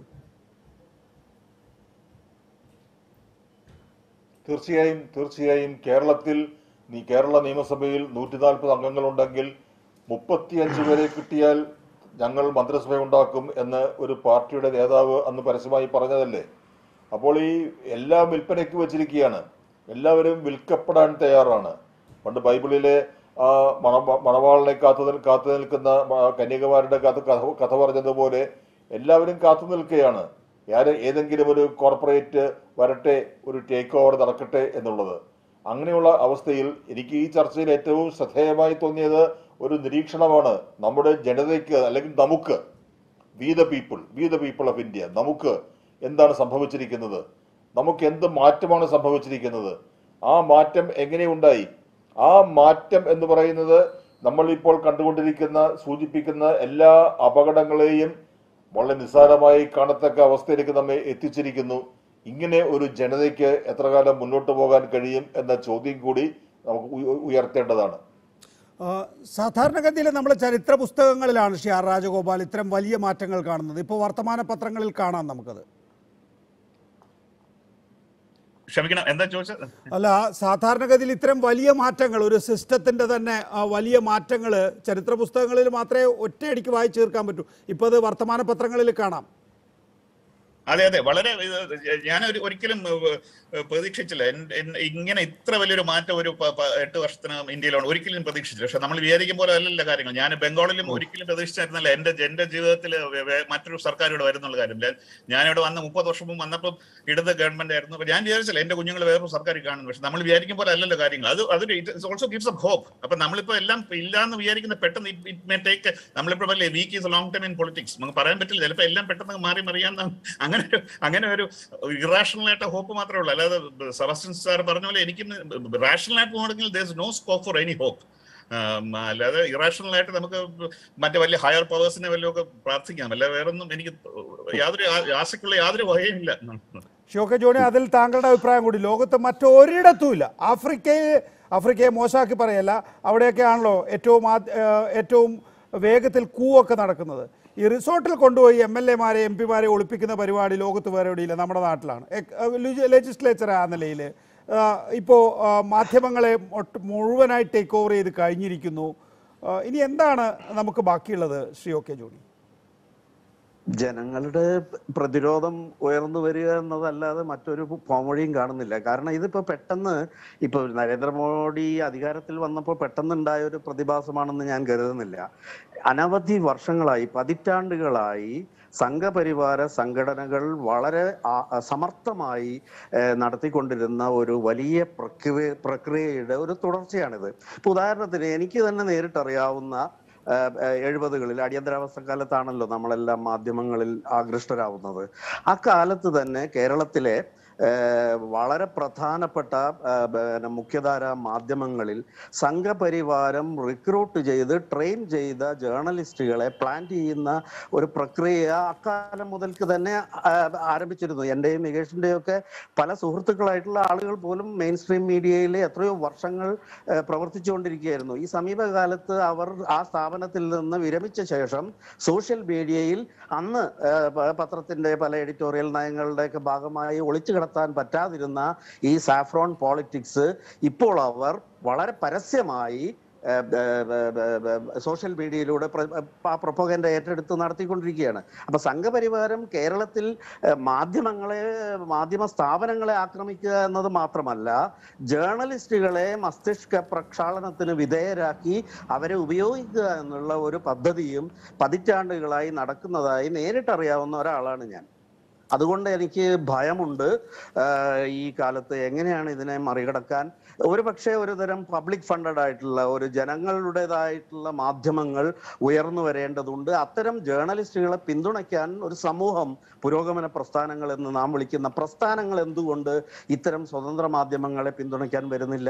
എന്നെ അത്ഭുതപ്പെടുത്തുന്ന ഒരു കാര്യമാണ്. കേരളത്തിൽ ഇത്രയും വലിയ ഒരു പുരോഗമനപരമായിട്ടുള്ള ഒരു ഇടതുപക്ഷ സർക്കാരിന് ഇവിടുത്തെ സ്വതന്ത്ര മാധ്യമങ്ങളെ പിന്തുണയ്ക്കാനുള്ള അക്കാഡമികളെയും ഒക്കെ സഹായിക്കും പോലെ ഒക്കെ നടത്തും പോലെ എന്തുകൊണ്ട് നല്ല ജേർണലിസത്തെയും നിലനിർത്താൻ അവരുടെ ഭാഗത്തു നിന്ന് പിന്തുണ ഉണ്ടാവുന്നില്ല എന്നുള്ളത് എന്നെ ആശങ്കയിലാണ് വ്യക്തമാണ്. ഷിയോ കെ ജോണി ഒപ്പം തന്നെ Vinod K Jose Caravan editor R Rajagopal ആ, Telegraph editor J Gopikrishnan the Pioneer ലേഖകൻ ഡോക്ടർ സെബാസ്റ്റ്യൻ പോൾ മാധ്യമ നിരീക്ഷകൻ ഒ കെ ജോണി രാഷ്ട്രീയ നിരീക്ഷകൻ. വളരെ നന്ദി. എഡിറ്റേഴ്സ് സഹായിച്ചതിന് നമസ്കാരം.